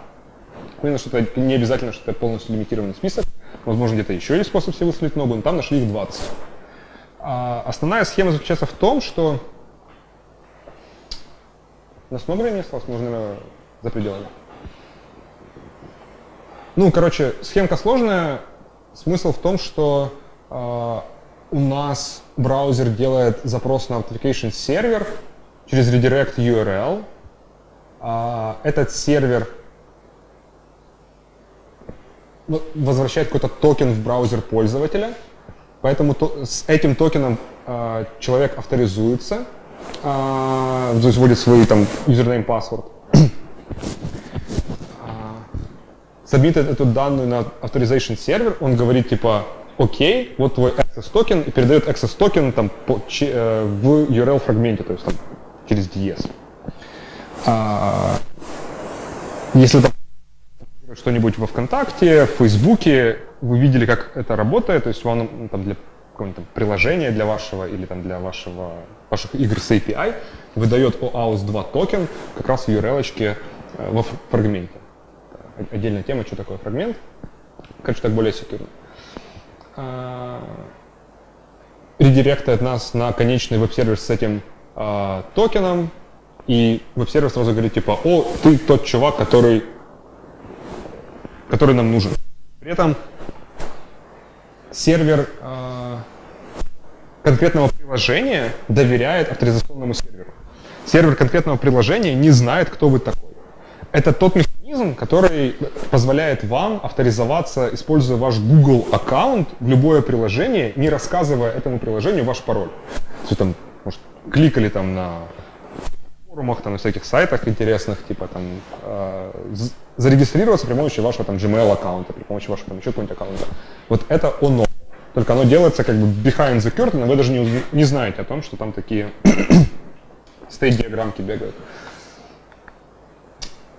Так вот, такая атака уязвима, во-первых, к cross-site request forgery. Это как раз то, о чем рассказывал а, Андрей, когда мы можем с third-party сайта отправить с нашими аукционными токенами э, запросы на сайт, который мы атакуем. В данном случае сайт, который мы атакуем, это банк. Third-party сайт может быть, там, не знаю, xxx.com, на котором стоит вот такой вот имидж. Имидж, у которого source — это bank.com трансфер, аккаунт Мария, amount э, 100 тысяч. Когда пользователь там, под, под именем Вова зайдет на страничку там, сайта xx.com, где есть такой имидж, с его аккаунта автоматически деньги спишутся в адрес Марии в маунте 100 тысяч. А, подобное же можно сделать при помощи а, формочки, которая как бы на онлоаде документа сразу же сабмитается. Подобное можно сделать, попробовать через XML HTTP request в JavaScript, а, что в принципе не, что в принципе возможно в старых браузерах, которые не поддерживают Course Cross Origin Security Policy. И если вы где-то видите Access Control Allow Origin все, это означает, что Course Policy отключен, и этот способ атаки возможен. На самом деле этот способ атаки он самый э, крутой, потому что позволяет, грубо говоря, отправлять в некоторых сценариях любые данные любых типов на любые, ну, на ваш сервер и атаковать его с third-party. Как Cross-Site Request Forgery, э, как от нее защищает CORS Policy, и почему он должно быть включено. То есть часто девелоперам хочется поставить такой вот флажок, потому что это починит их баги с приложением, типа, ой, блин, у нас тут у сервера есть там несколько э, бэкенд серверов, на одном хранятся картинки, на, на другом хранятся там еще что-нибудь, там данные, на третьем что-нибудь третье. И давайте мы поставим Access Control Allow Origin все, и таким образом сможем, типа, общаться с всеми этими там веб-приложениями нашими.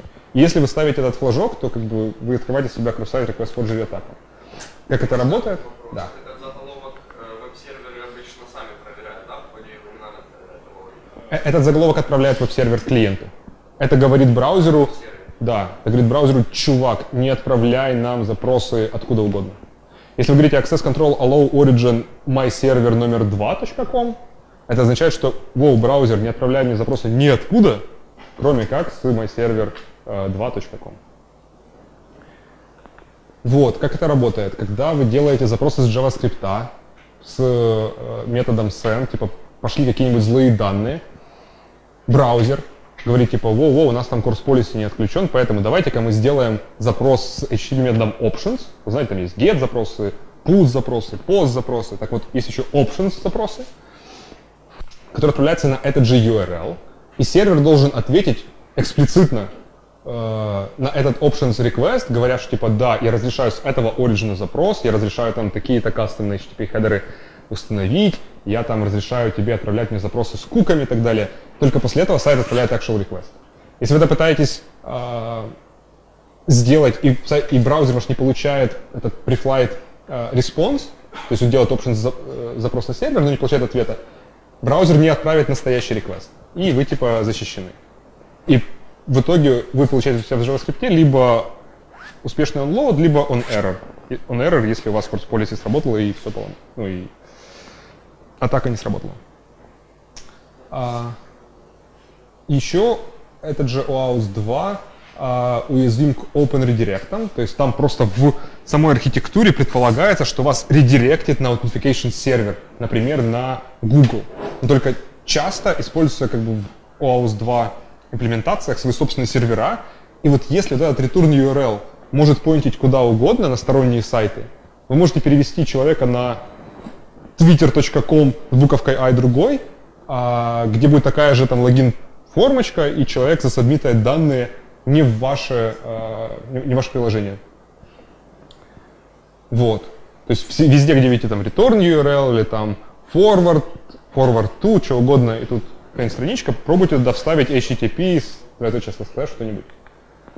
А, если нас редиректит на HTTP сайт, то понятно, что мы можем Uh, украсть токен при помощи man in the middle атаки, то есть это должно быть исключительно редиректно на HTTPS. Это все описано в самой архитектуре. Uh, также описана в архитектуре атака clickjacking. Это когда мы можем в, загрузить в iframe ваш, ваше веб-приложение, ваш сайтик, сделать этот iframe невидимым и наложить его поверх чего-нибудь клевого. Например, там клевая игрушка, нажми на там, не знаю, несколько шариков и ты такой делаешь клик-клик-клик, на самом деле ты кликаешь на невидимом айфрейме и там нажимаешь на кнопочку типа там за unsubscribe от кого-то?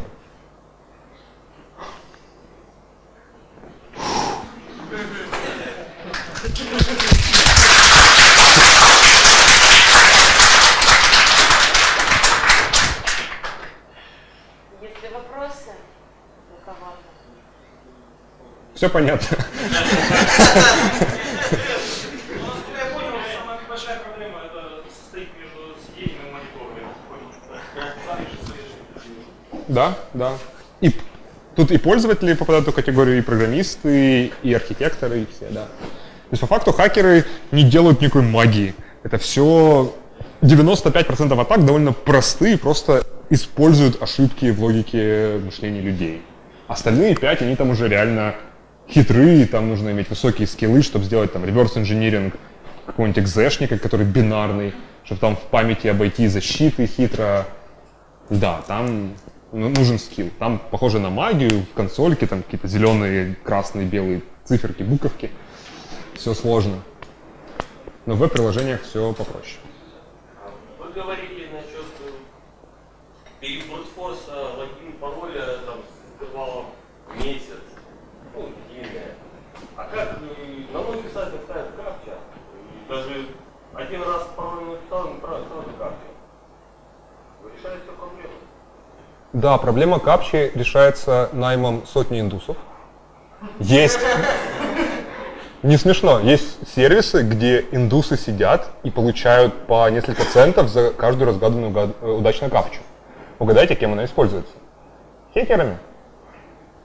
Есть э, алгоритмы, которые там угадывают капчи с 90-98% success rate, тоже как бы такая себе защита. Ну и я говорил про перебор не с интервалом в один месяц, а с интервалом там в 5 минут, например, но на протяжении месяца. С интервалом 5 минут за месяц можно много опробовать пароли.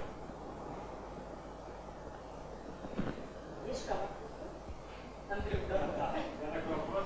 Вот Я реализовал Android-приложение, и у меня нет бэкэнда. То есть бэкэнд чисто API. Вот. Мне надо было реализовать возможность э, смены пароля в, этом, в моем приложении. То есть забыл пароль, типа, Ну да. Вот, я это сделал прямо в Android-приложении. Безопасно или нет? То есть я посылаю э, запрос, э, например, по телефону или по имейлу, э, вот мне приходит код, э, либо если по, имейлу, по телефону коротенький, по имейлу длинный. Вот, и дальше, э, либо, ну, если это смс, я ее сразу ввожу и отправляю на, с запросом на подтверждение, вот, а если это у меня по имейлу, то я кликаю на ссылку, и таким образом этот, этот из ссылки попадает э, из письма в приложение, а из прива- приложения отправляет его. Сложный прикол. Нужно подумать, посмотреть. То есть, ну, как бы, обычно лучше не изобретать велосипед и э, для forgot password пользоваться out of band методом подтверждения. То есть, э, не менять его напрямую в этом приложении. То есть, ну, если ты используешь... Это можно дополнить, опять же, токеном.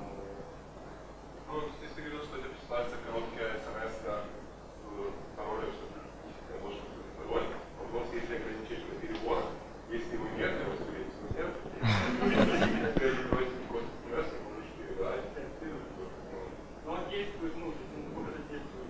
Вопрос, насколько он действует, есть ли ограничения и какой принцип ты принимаешь. Ага, вот. То есть не проблема взять 10 серверов, которые будет 50 потоков. Можно ли за 5 минут, пока он действует, Можно, перебрать вот эти вот 5 если твой сервер примет такое количество запросов, можно. Это 2 пятых. Чуть больше просто. Вот 2 пятых на 5 цифр, 10 тысяч. Ну да, почти 600 секунд.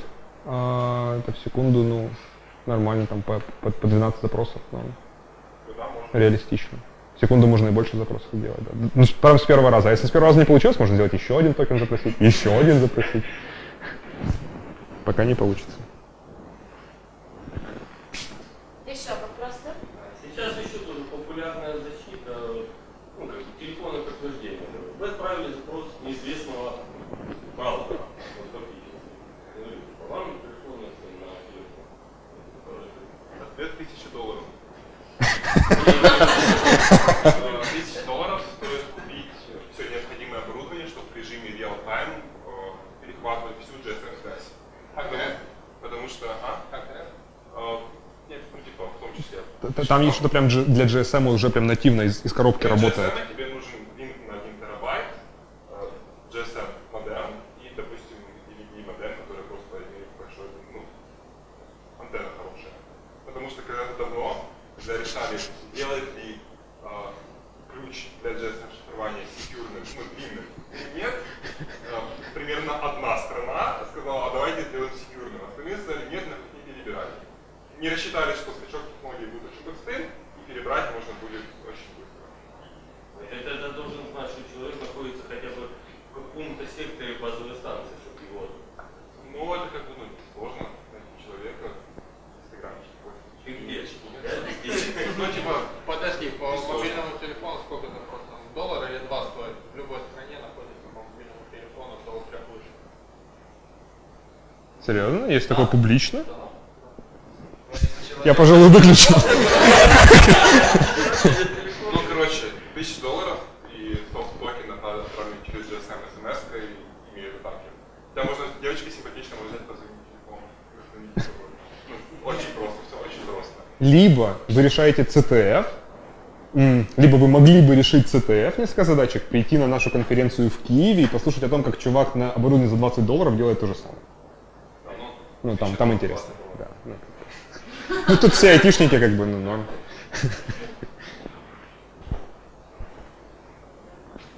О, если вопросы дополнительных пока нет, тогда большое спасибо. Давайте еще раз давайте приветствовать его. Да, спасибо, Ира. Всем добрый день. А, Кто меня не знает?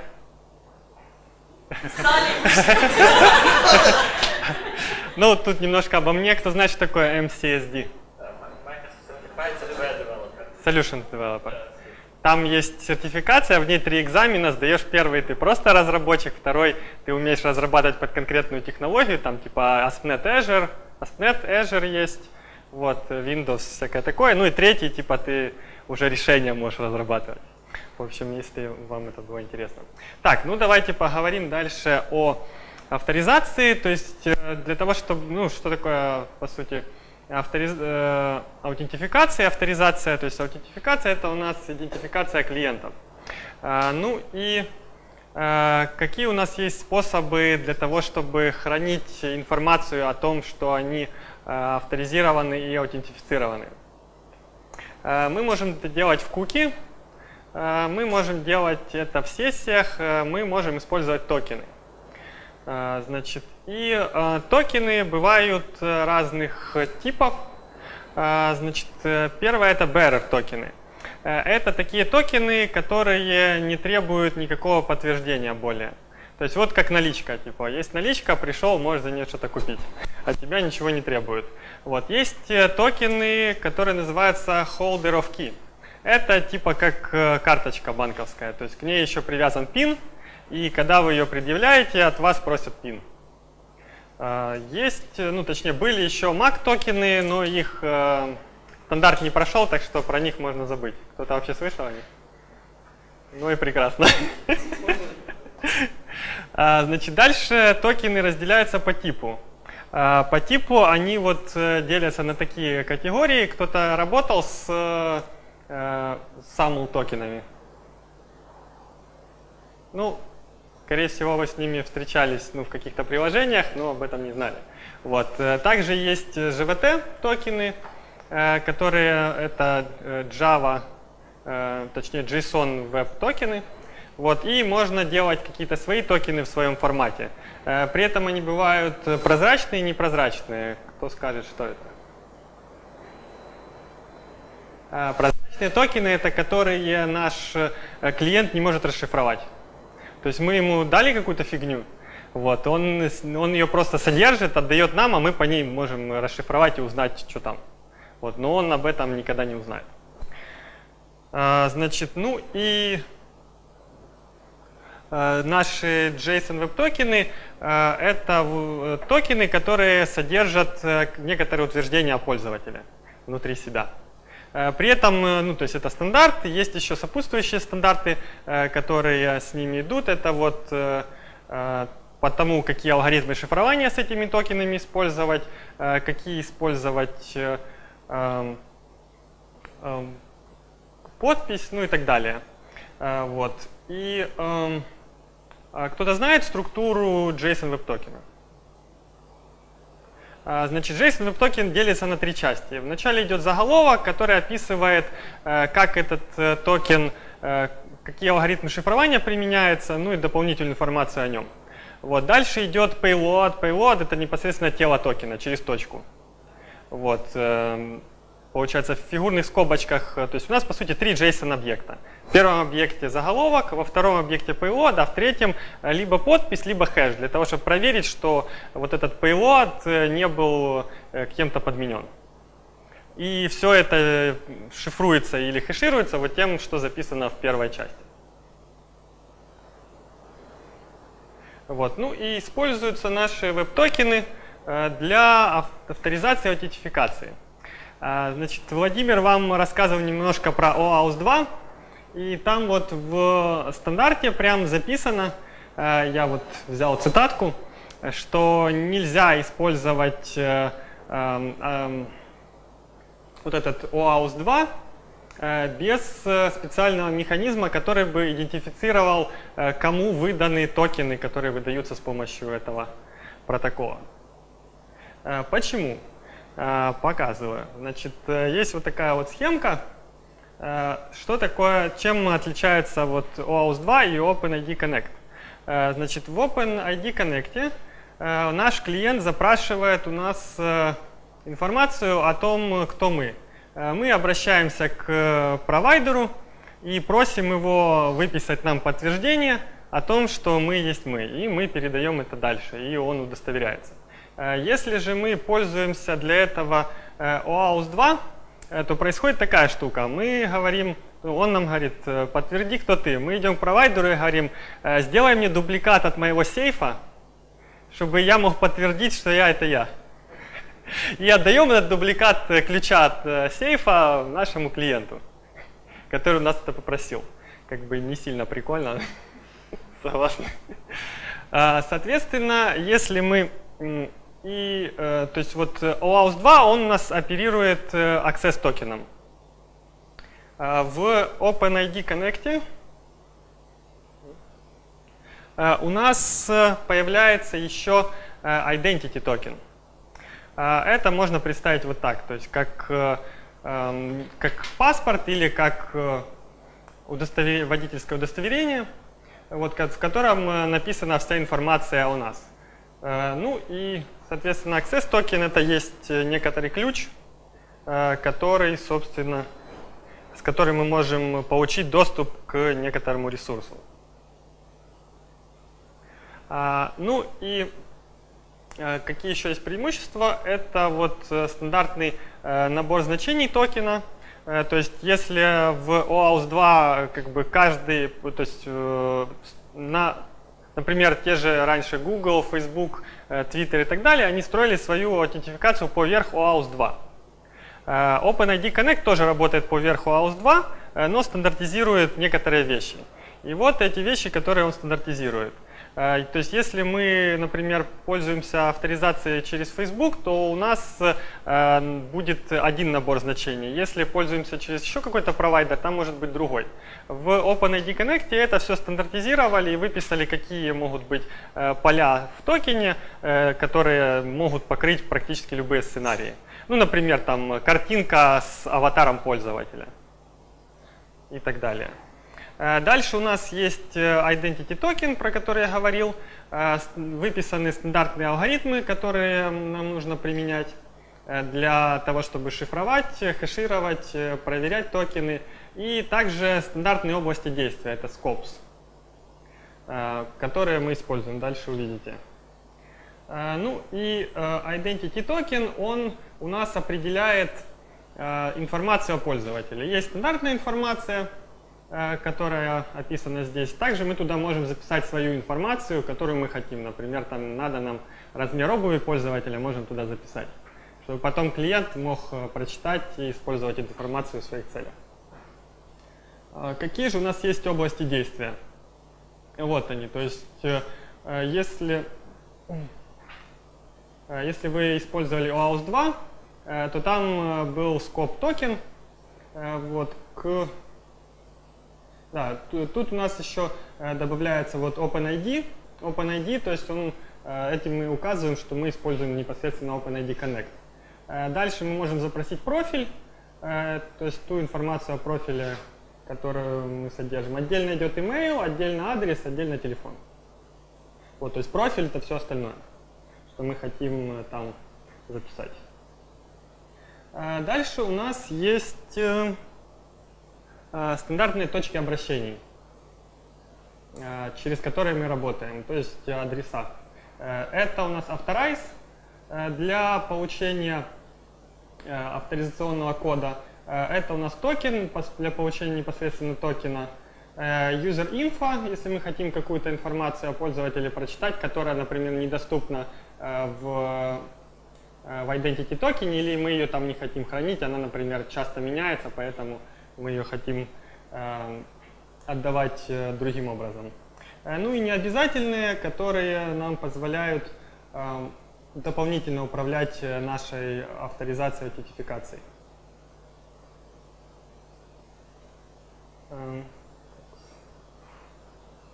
Дальше поговорим о сценариях. То есть наш этот протокол OpenOAuth 2 и OpenID Connect, который на нем построен, а, определяют некоторые сценарии авторизации. А, но перед этим нам нужно для себя определить некоторую информацию по поводу нашего клиента, а именно является ли он, ну, может ли он хранить секретную информацию. То есть если у нас, например, сервер общается с сервером, то его можно считать Э, конфиденциальным, потому что он, э, ну, к нему нет доступа свне, и он может э, хранить как бы некоторое значение, которое называется secret, которое ну, невозможно оттуда украсть. Вот. Если же это у нас публичное приложение, ну, например, там Android приложение или там .NET какое-нибудь приложение, мы можем его декомпилировать, посмотреть, какой там секрет, и он уже не секрет. Э, а сами сценарии, э, которые дальше могут использоваться, делятся на интерактивные и неинтерактивные. Э, то есть неинтерактивные — это где мы послали запрос и получили ответ. Интерактивные — это там, где нужно вовлечение пользователя для того, чтобы произвести какие-то действия. Ну и начнем с первого сценария. Это безличностная авторизация. Э, то есть э, мы авторизируем здесь клиентов. То есть нам э, не, не важен, кто пользователь, мы должны идентифицировать самих клиентов, которые пользуются.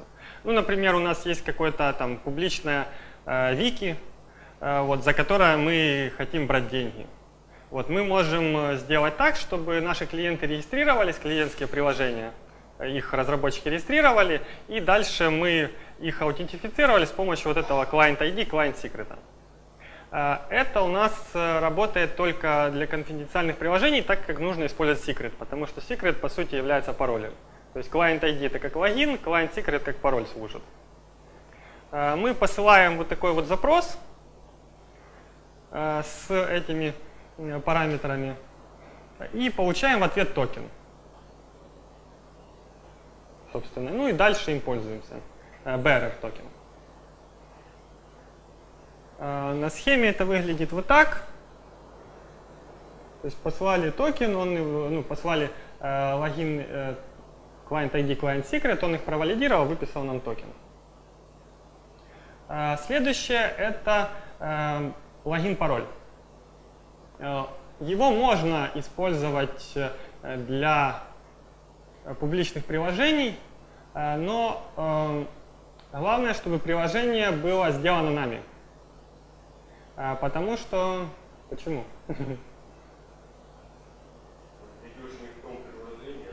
Ну да, приложение может перехватить иначе эти данные, а, и потому что ты их вводишь в этом приложении, да. И дальше от твоего имени ходить. А, здесь мы отправляем вот такие вот данные, а, то есть client secret у нас э, опциональный, если у нас, в зависимости от того, оно у нас является публичным или конфиденциальным. Ну и, собственно, тоже получаем токен, который имеет некоторый срок действия.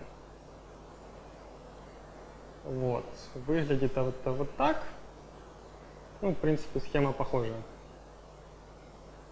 Только здесь еще может включаться валидация клиентского приложения по Client ID. Э, дальше. Следующий сценарий это у нас интерактивный. Это код для авторизации. Это самый такой длинный и сложный сценарий. Он используется для тех случаев, когда мы вот не хотим, чтобы данные пользователя были перехвачены, и для этого используется браузер, который мы считаем, что он безопасный и в него никто как бы не влезет. Значит, соответственно, как это работает, мы сначала отправляем вот такой вот запрос на точку authorize. Э, где есть еще state. Вот, про state Вова говорил. Э, значит, вот этот state, вот, э, это есть message authentication код. А по-русски называется имит вставка. Даже хост для него есть. Вот, значит, это некоторый случайный код, который идентифицирует э, сообщение, ну или запрос в данном случае, который мы генерируем э, на э, нашем клиенте и отправляем серверу, чтобы он мог провалидировать, что этот, эм, что этот запрос, который выполнили мы, был именно от нас, а не от кого-то другого и никем не подменен. То есть э, некоторое значение, которое знаем только мы. Э, вот, когда мы его отправляем, Э, да. Вот, сервер э, его сервер его проверяет, и у нас э, здесь включается вот такая вот схема. Значит, я ее чуть-чуть... Ага. Нас сейчас интересует вот эта часть. Сейчас увеличим, наверное,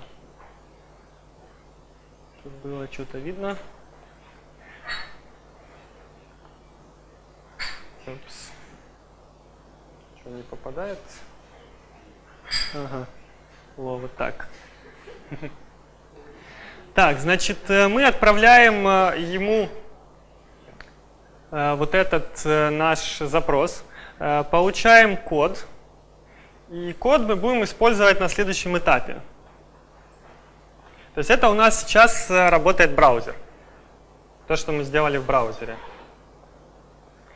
Вот, дальше. Э, дальше нам надо сделать второй запрос. Э, во втором запросе мы отправляем вот такие вот данные, э, включая скоп. И здесь мы передаем наш код, который в этой части уже обрабатывается дальше. Код мы передаем на точку токен. Так, вот, где валидируется наш клиент, его вот этот код, и выдается уже непосредственно э, access токен, с которым можно работать, ну и в том числе identity токен. Э, зачем такая длинная схема?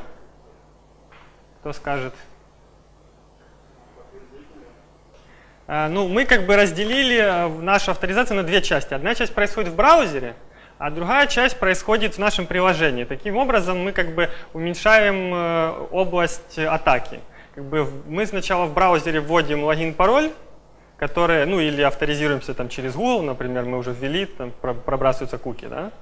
Э, и нам приходит код. Мы этот код получили, то есть в браузер токен не попал. Да. А, да, нам попал только код. А потом этот код, который мало, мало, имеет маленький срок действия, мы отправляем на другую точку и получаем оттуда токен. Соответственно, токен попадает прямо нам, без участия браузера. А, это самая безопасная схема.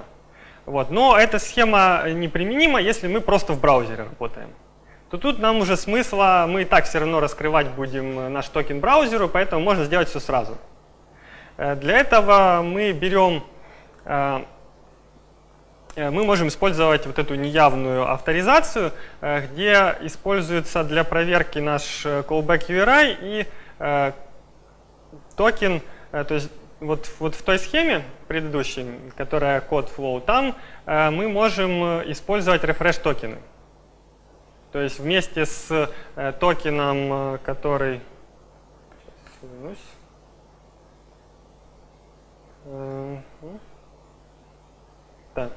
Э, значит, вместе с э, токеном, access токеном и identity токеном э, мы можем получить refresh токен, который потом использовать для того, чтобы получить новые access токены, когда предыдущий срок годности вышел. Вот. И ну, эту возможность нужно использовать, она, ее можно использовать только для конфиденциальных приложений. Потому что если наш атакующий получит вот этот э, refresh токен э, refresh токен себе, то он может дальше выписывать себе access токены сколько хочет, по сути. Ну, как бы refresh токен тоже имеет какой-то срок действия, но гораздо дольше. Вот, поэтому, если мы хотим использовать именно э, refresh токены, нам обязательно нужны конфиденциальные клиенты.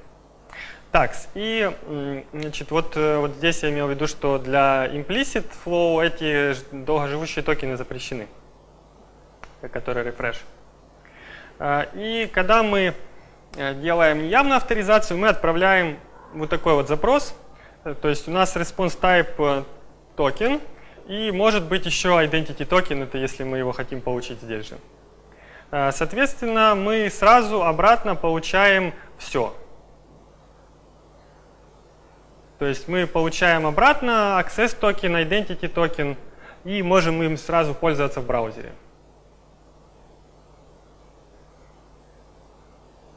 И есть у нас еще hybrid flow, э, который объединяет э, эти два режима. То есть э, получается все сразу. То есть здесь мы можем еще запросить refresh токен прямо в браузер. Точнее, не refresh токен. Мы можем запросить, точнее не так, мы можем запросить код и получить access токен сразу в браузер. Вот так вот. То есть получается вот так. Мы здесь просим и код, и токен. Э, ну, этот режим, э, скорее всего, для, используется для каких-то корпоративных приложений в интернет. Э, вот некоторое сравнение этих сценариев, которые мы можем использовать в каких случаях.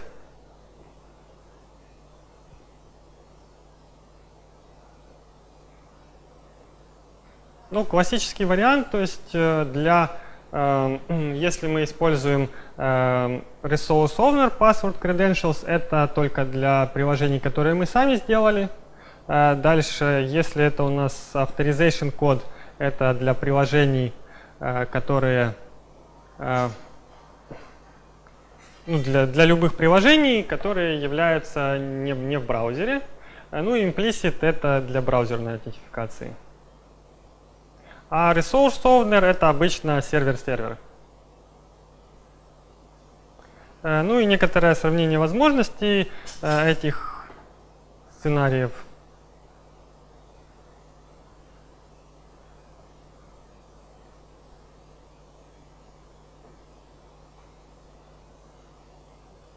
которая нам описывает стандарт.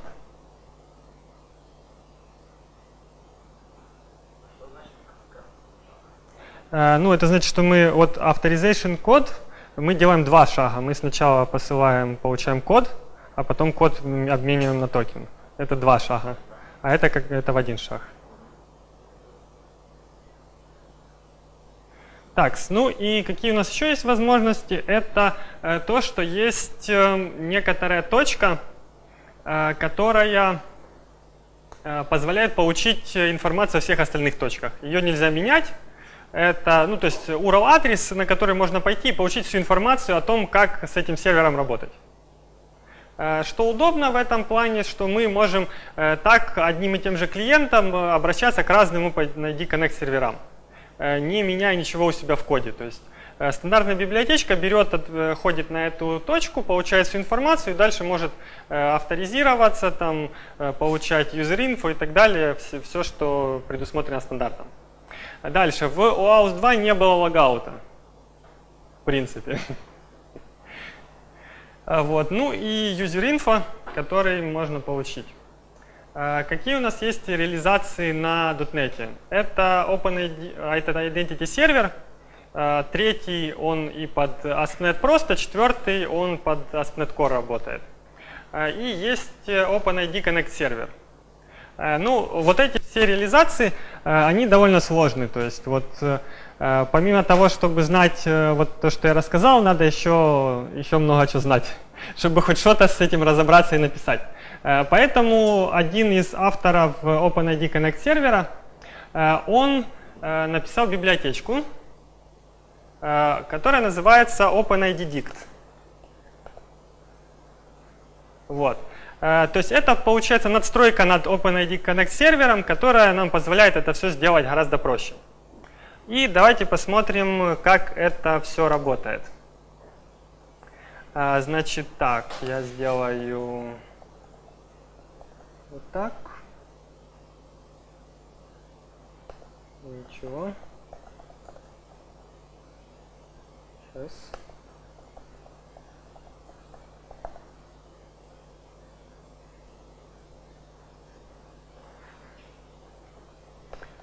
Так, сделаем здесь 14, а здесь давайте 20 попробуем.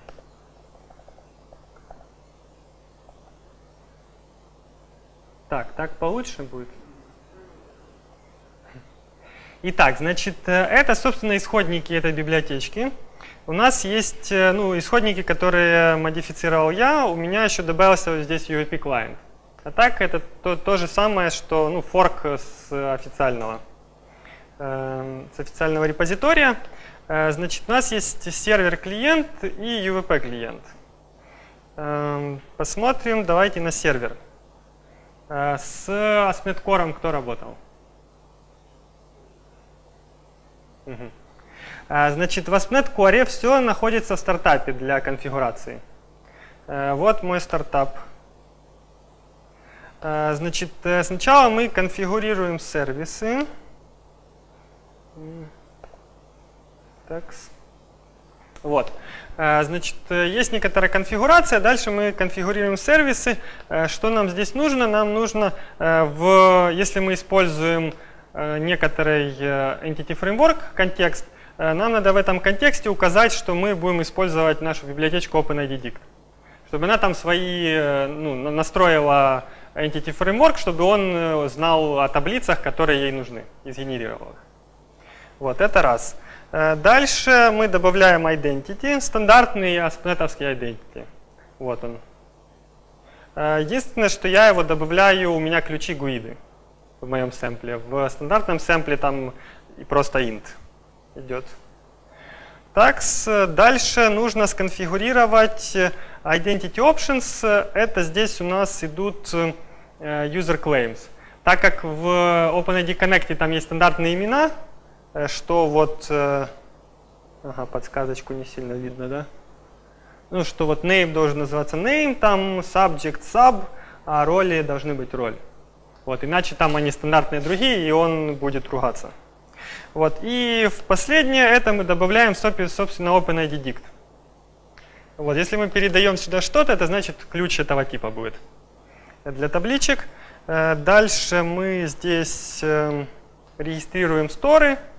Э, вот, и здесь мы добавляем точки, которые мы будем использовать. То есть все точки, которые мы используем, надо явно объявить и прописать здесь вот эти URL-адреса, на которые можно обращаться. Потом мы включаем наши эти сценарии, которые мы разрешаем. Вот здесь разрешен authorization код, да, password, refresh token. Эм, так, require client identification. Это нужен ли client ID или не нужен? Можно сказать, что нам client ID не нужен, всех подряд просто аутентифицируй. Так, дальше кэширование запросов, это уже не сильно важно. Э, пока мы разрабатываем, можем выключить HTTPS, чтобы сильно не париться на начальном этапе. Э, по умолчанию используются прозрачные токены, но можно использовать э, JSON Web токены, если хотим, вот уже есть заготовочка. Это мы все добавили, и последним этапом нам надо добавить этот э, OpenID Dict. Так, ага. Значит, что нам еще надо добавить? Нам надо добавить OAuth Validation или OAuth Introspection. А, кто-то встречался с таким? Ну, есть два режима работы, по сути. Может быть, что наш сервер, который Authorization сервер, находится где-то в другом месте. Ну, там, на другом сервере, на другом адресе. И мы можем у него спрашивать, прислали ли нам токен правильно или нет а может быть прямо в нашем приложении. Вот если оно интегрировано в наше приложение, мы используем OAuth Validation. То есть нам приходит токен, сами его валидируем. Э, если у нас это идет э, эм, э, на другом сервере, то вот тут есть заготовочка, которая говорит, вот типа сервер вот этот, ходи к нему и спрашивай у него, валидные токены или нет, и кто, их, и кто, как, кто по этому токену пришел. Ну, точнее, вот оно. Use House Introspection. И тут э, как бы тут разделено на две части. То есть вот это у нас используется, когда мы ходим э, не на API э, адрес, а когда ходим на API адрес, точнее вот то, когда на API, а когда не на API, то у нас оно работает как обычное ASP.NET приложение. То есть вот мы там добавляем Google, Twitter, вот, и, и Identity, и оно все работает. Вот в конце OpenID используем, и это все запускается. Давайте теперь посмотрим, как это работает. То есть, в принципе, вот мы в стартапе все это настроили, и все работает.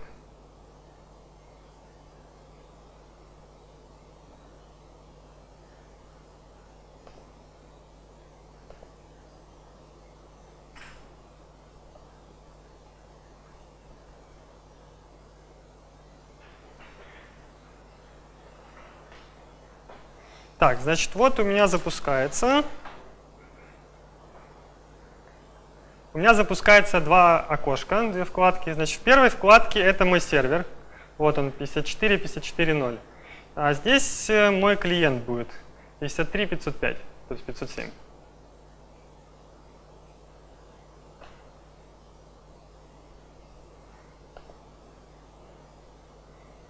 Ух ты. Прикольно.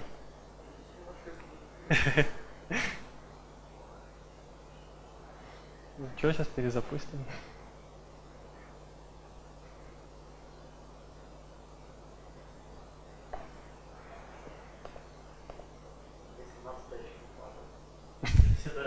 Да?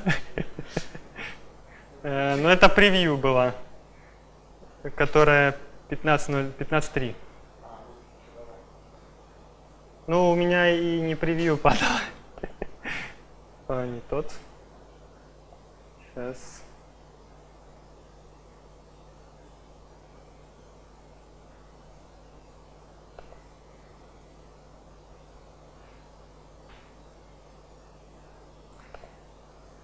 А, пока оно загружается, скажи, что там есть еще второй репозиторий, э, в котором собраны всякие примеры. И вот, то есть есть примеры на все эти разные э, сценарии, э, которые можно посмотреть, как реализованы. Вот, например, есть при, пример с introspection. Вот у нас отдельно authorization сервер, а вот у нас серверы с ресурсами. И Aurelia приложение. Кто-то слышал про Aurelia? Это такой фреймворк, э, чувак, который разрабатывал Angular, ушел и сделал свой. С коммерческой поддержкой, там, в общем, хорошая штука. Ну, попроще, чем Angular 2. Так, значит, пока оно там запускается... Сейчас запустим.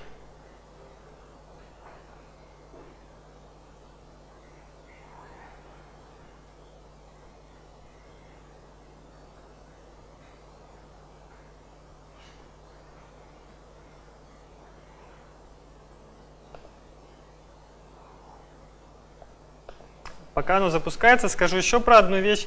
Э, чтобы вот этим э, OpenID Connect удобно было пользоваться, э, есть для него уже готовые .NET клиенты и JavaScript клиент. Вот, есть такой репозиторий Identity Model, в нем есть Identity Model и Identity Model OIDC Client. Собственно, вот эта библиотечка использует эту, и она реализует возможность работы с этими разными сценариями. То есть она ходит сама на точку э, Discovery, где описана вся структура сервера авторизации, и в ней уже готовые методы типа авторизироваться через э, код flow. Вот, и оно себе работает. Я вам покажу дальше пример. И есть э, также JavaScript клиент, э, который это умеет, но он не умеет password flow. Вот, если хотите password flow, то есть библиотечка для Angular 2, которая это умеет. Так, и, и ладно, запущу новую студию. Пока та подвисла.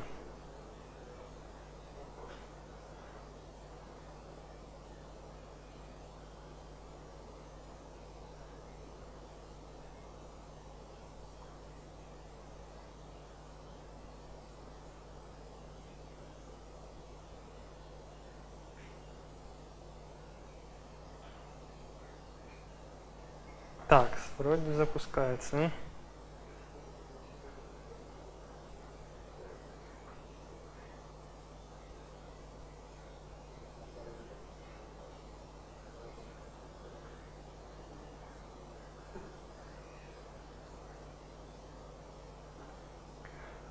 Скажу еще, что вот этот стандарт уже у себя применяет Google и Microsoft. То есть если вы авторизируете через Google провайдер, то там уже используется OpenID Connect. Э, и кто-то Build смотрел, Microsoft Build, который недавно прошел. Они презентовали еще новый э, сервис в Azure Active Directory B2C, Business to Consumer. То есть э, вот этот э, авторизационный сервер, который я вам показываю здесь, как поднимать, можно создать в ажуре себе и просто на него introspection настроить. Так, ну, давайте пробовать.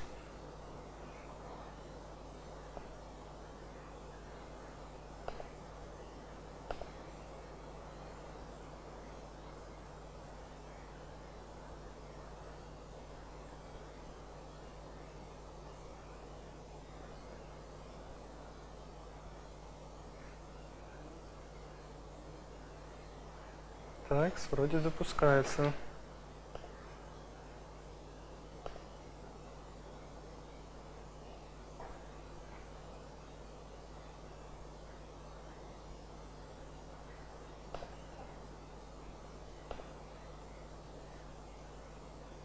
Так, запустился, но запустился только сервер и UVP.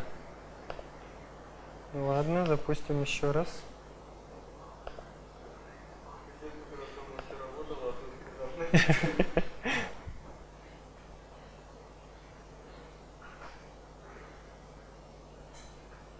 Ну, оно бывает, когда три проекта разных запускаешь в студии, то один бывает не запускается. Что оно, правда, сбросилось в настройках вот здесь вот. Давайте посмотрим.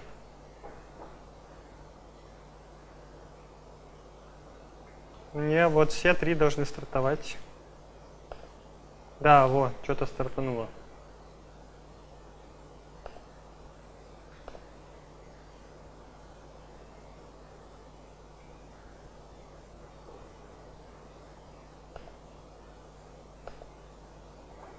Так, о, есть. Так, вот наш сервер, обычный ASP.NET MVC приложение. С обычными формочками можем прям здесь залогиниться. Дальше клиент наш. Когда я нажимаю Sign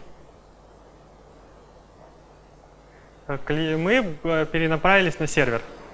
Вот, на ту же страничку, которую он только что показал. Э, дальше здесь я могу залогиниться с, с ранее использованным пользователем, могу новый создать. По-моему, у меня был user 1, собака, live.ru и QWERTY тильда 1, 2, 3, 4, 5. Сейчас проверим.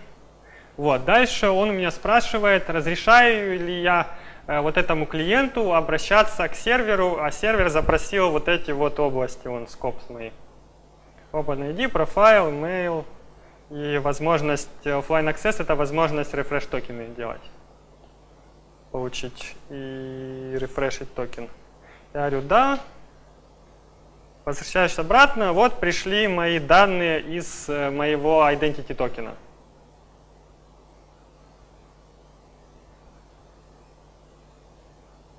То есть разные стандартные поля, например, вон там, когда был выдан, сколько действует в Unix времени, э, кто выдал, э, кому выдал, верифицирован ли email. И могу здесь сделать, например, вызов на API, и он мне скажет, вот, типа, проверка прошла, API вызвана, все хорошо. Э, теперь могу то же самое сделать через UVP. Значит, что в этом примере? В этом примере вот есть кнопочка General, которая делает то же самое, только в UVP. Э, вот эти кнопочки еще не работают. Это я хотел, чтобы можно было сразу через конкретный провайдер. Э, когда это нажимаю, у меня открывается Web Authentication Broker. Слышали про такое?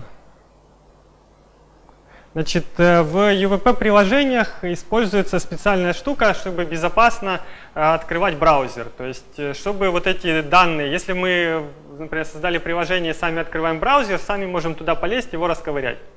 Нехорошо.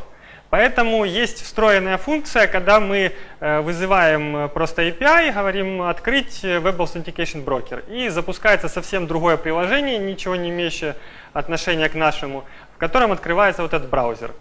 Значит, э, почему оно здесь э, сейчас не работает? Э, потому что оно хочет HTTPS. Вот. И мало того, что оно хочет HTTPS, оно еще хочет, чтобы он был от Trusted Authority. Вот, поэтому что надо сделать? М? Не, там нельзя выключить. Это же все безопасно. Вот, нам надо взять эм, консольку нашу, вот эту. Так. Вот, причем он мне тут скажет, смотрите сейчас. Оп. Вот остановилась error, unknown error. Зашибись. Так, значит, вот моя консолька. Я сюда сейчас добавлю э, сертификаты э, моего компьютера. Вот мои сертификаты. Э, дальше у меня в Personal есть localhost, который мой ИИС сейчас подписывает SSL. Э, и я его беру и копирую вот сюда. И теперь он стал trusted. Теперь должно, по идее, заработать. Пробуем еще раз. Так, но пока мы пробовали, у меня приложение закрылось. Сейчас откроем его заново. Такс.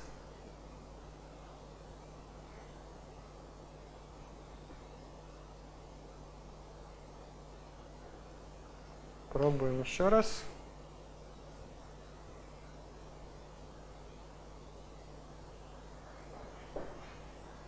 О, вроде что-то пошло.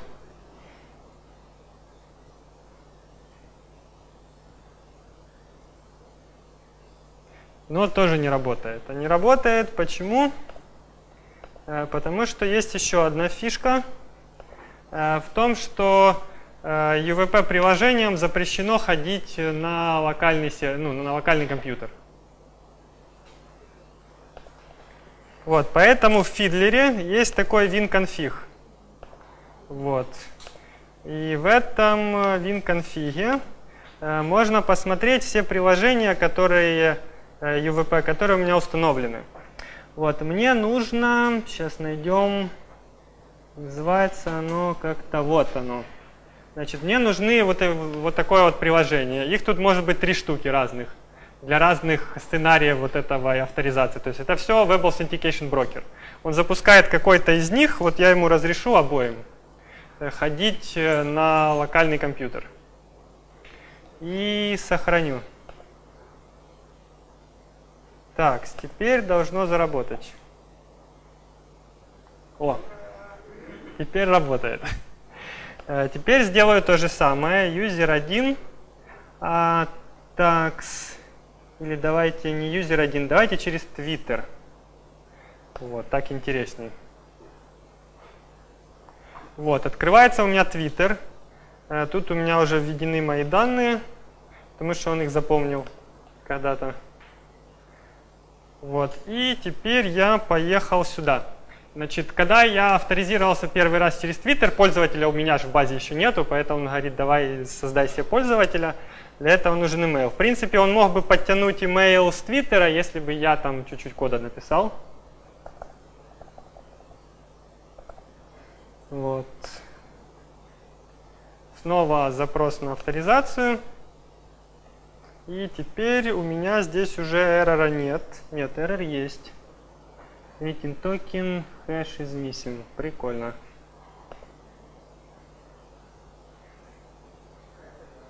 Так. а, ну ладно, значит, там э, надо было что-то еще в клиенте поменять, потому что они там с кодом что-то, то есть этим с хэшом что-то намутили. А, ну, нам сейчас не принципиально, значит, э, в чем суть этой штуки? А, значит, у меня есть вот мой URL, на, который, на котором у меня сервер. Э, дальше у меня есть э, OIDC Client Options. Э, я сюда указываю вот этот URL и указываю параметры моего приложения. Client ID, Client Secret, скопы. Потом Redirect URI. Redirect URI для UWP приложений всегда ну, используется обычно из-за Authentication брокера. Это вот этот ID-шник приложения, который был вот где-то здесь, вот это он. Вот этот айдишник является Redirect URI. И на него Web Authentication Broker сверяет, э, сейчас закрываться или не закрываться. Закончилось ли вот это э, переключение там редиректов. Э, ну, дальше здесь у нас реализован, в этой библиотеке есть как бы стандартный интерфейс, который называется вот, iBrowser потому что она как бы универсальная. Поэтому для UVP мы просто берем, наследуясь, не наследуясь, э, реализуем этот интерфейс и используем Web Authentication Broker. Если у нас там, например, VPF или Windows Form приложение, то у нас э, брокера там нет, приходится свой браузер открывать. Так, и так, должно было здесь policy вот это сработать. Вот это policy должно было все исправить. Ну ладно. А, значит, э, потом я создаю клиент, OIDC э, клиент с этими настройками, дальше говорю логин. И все дальше происходит само, по сути. Приходит только результат. А в результате, если не ошибка, э, то я могу получить оттуда юзера. У юзера есть клеймы, вот эти, которые показывались в, в клиенте, которые вы видели в браузере. Ну и здесь я их просто показываю в интерфейс. Э, и в конце есть еще такая хорошая фишка.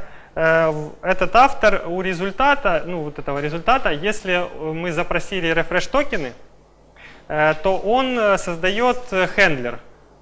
То есть вот наш HTTP клиент, в нем он создается на базе этого хендлера. И если тот токен, который мы ему отдали, он видит, что его срок годности вышел, Э, то вот в этом refresh токен хендлере уже есть refresh токен, он сам посылает запрос на обновление access токена. То есть все автоматизировано. И в итоге дальше мы можем э, вот через эм, метод расширения установить этот access токен на клиент. Э, дальше устанавливаем base URL и можем, вот у меня есть метод getMessage, который берет у этого клиента и посылает запрос. То есть вот к этому URL API добавляется message, и с него получается ответ. Вот, в принципе, и все. Так это работает. Есть вопросы по этой части? Вот, и еще один момент.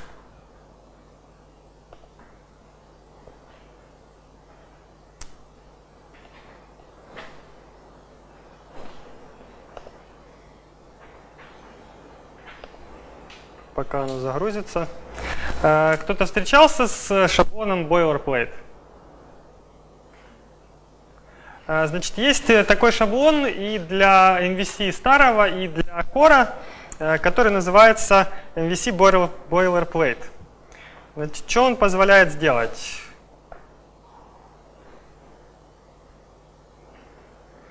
Э, вот, если я пойду в веб, у меня и установлю расширение, у меня появляются вот такие вот штуки.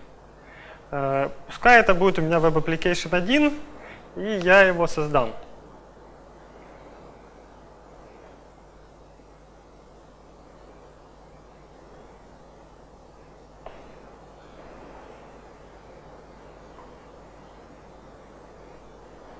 У меня открывается вот такой вот мастер, в котором я могу выбрать сразу, чего я хочу себе в этом, в моем новом проекте. Так, что такое? О, есть. То есть вот он уже что-то нагенерил. И теперь я еще хочу туда что-нибудь добавить. Значит, хочу Core или .NET Framework, могу оба вместе. Э, дальше выбираем вон сервер, дальше где будем его хостить. Э, Все оставим по умолчанию. Вот этих штучек, видите, нет, просит поконтрибьютить. Э, будем ли использовать TypeScript, он тут использует Bower для этой сборки. Дальше можно открыть там Google проверку скорости страниц, курсы добавить, всякие другие полезные штуки, роботы сразу, sitemap, about, contacts, какие сериалайзеры использовать. Дальше у нас там что?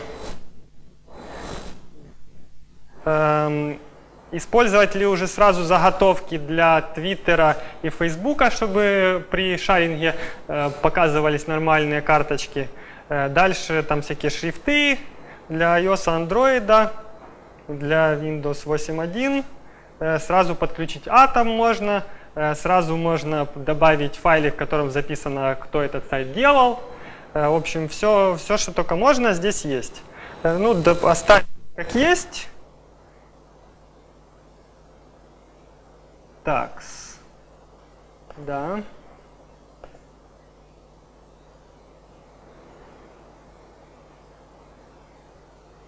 И что получается? Сейчас увидите. Значит, открывается мне вот такой вот, э, вот такая вот страничка, вот, на которой, э, ну, сначала общая инфа, потом идет такой вот чек-лист. Сейчас я попробую увеличить. О, есть, да. Видно? Вот, в котором автор этого шаблона предлагает э, дальше э, пройтись по чек-листу, по security этого сайта, который мы создали. Там, сконфигурировать HTTPS, э, ну и так далее, со ссылочками, со всей информацией, которая нам надо для того, чтобы там, э, провести те действия, чтобы наш сайт был безопасным. Other security. То есть здесь можно почитать, э, сделать, поставить флажочек себе. Будет зелененькое, радоваться, что сайт безопасный.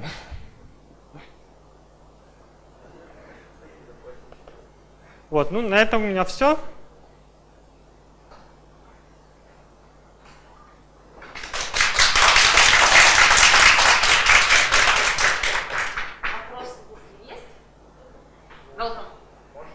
Да. Если уже есть там личное там приложение с логином через базу, там, ну, там личные роли, личные буки отправляются, сколько времени займет переконфигурация OpenID? Ну, за часик можно справиться. А, а по ресурсам, ну, то есть этот identity сервер, он э, тоже легко подогнать? Ну, э, в смысле, отдельный сервер авторизации? Нет, нет, не нет, просто встроить, да? Встроен, да. Ну, там, там, да. Тоже в этот час. Да, то есть там надо четыре таблицы добавить, которые, если это, ну, если это, если код first, то он сам их добавит, да, миграции сделать. И вот настроить э, стартап, все, в А, принципе. то есть миграции будут, ну, а если это не core, если это, ну, А, не core, надо брать что-то, что не на коре работает, э, тот же Identity сервер. Identity сервер, ну, по нему есть дока, но он сложноватенький. то есть он только по core работает. Ну, я пробовал разобраться с Identity сервером, я не осилил. Я перешел на OpenID Dict, и как бы здесь все, все гораздо лучше в этом плане. Еще были вопросы?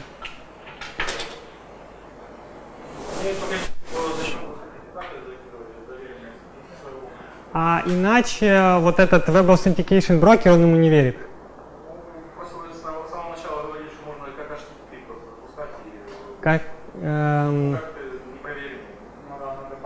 Нет, сервер-то я могу серверу разрешить, но мой клиент мне не позволяет этого сделать, потому что это фишка операционной системы. То есть я должен использовать вот этот Web Authentication Broker, и у него такая политика, что вот нельзя не HTTPS.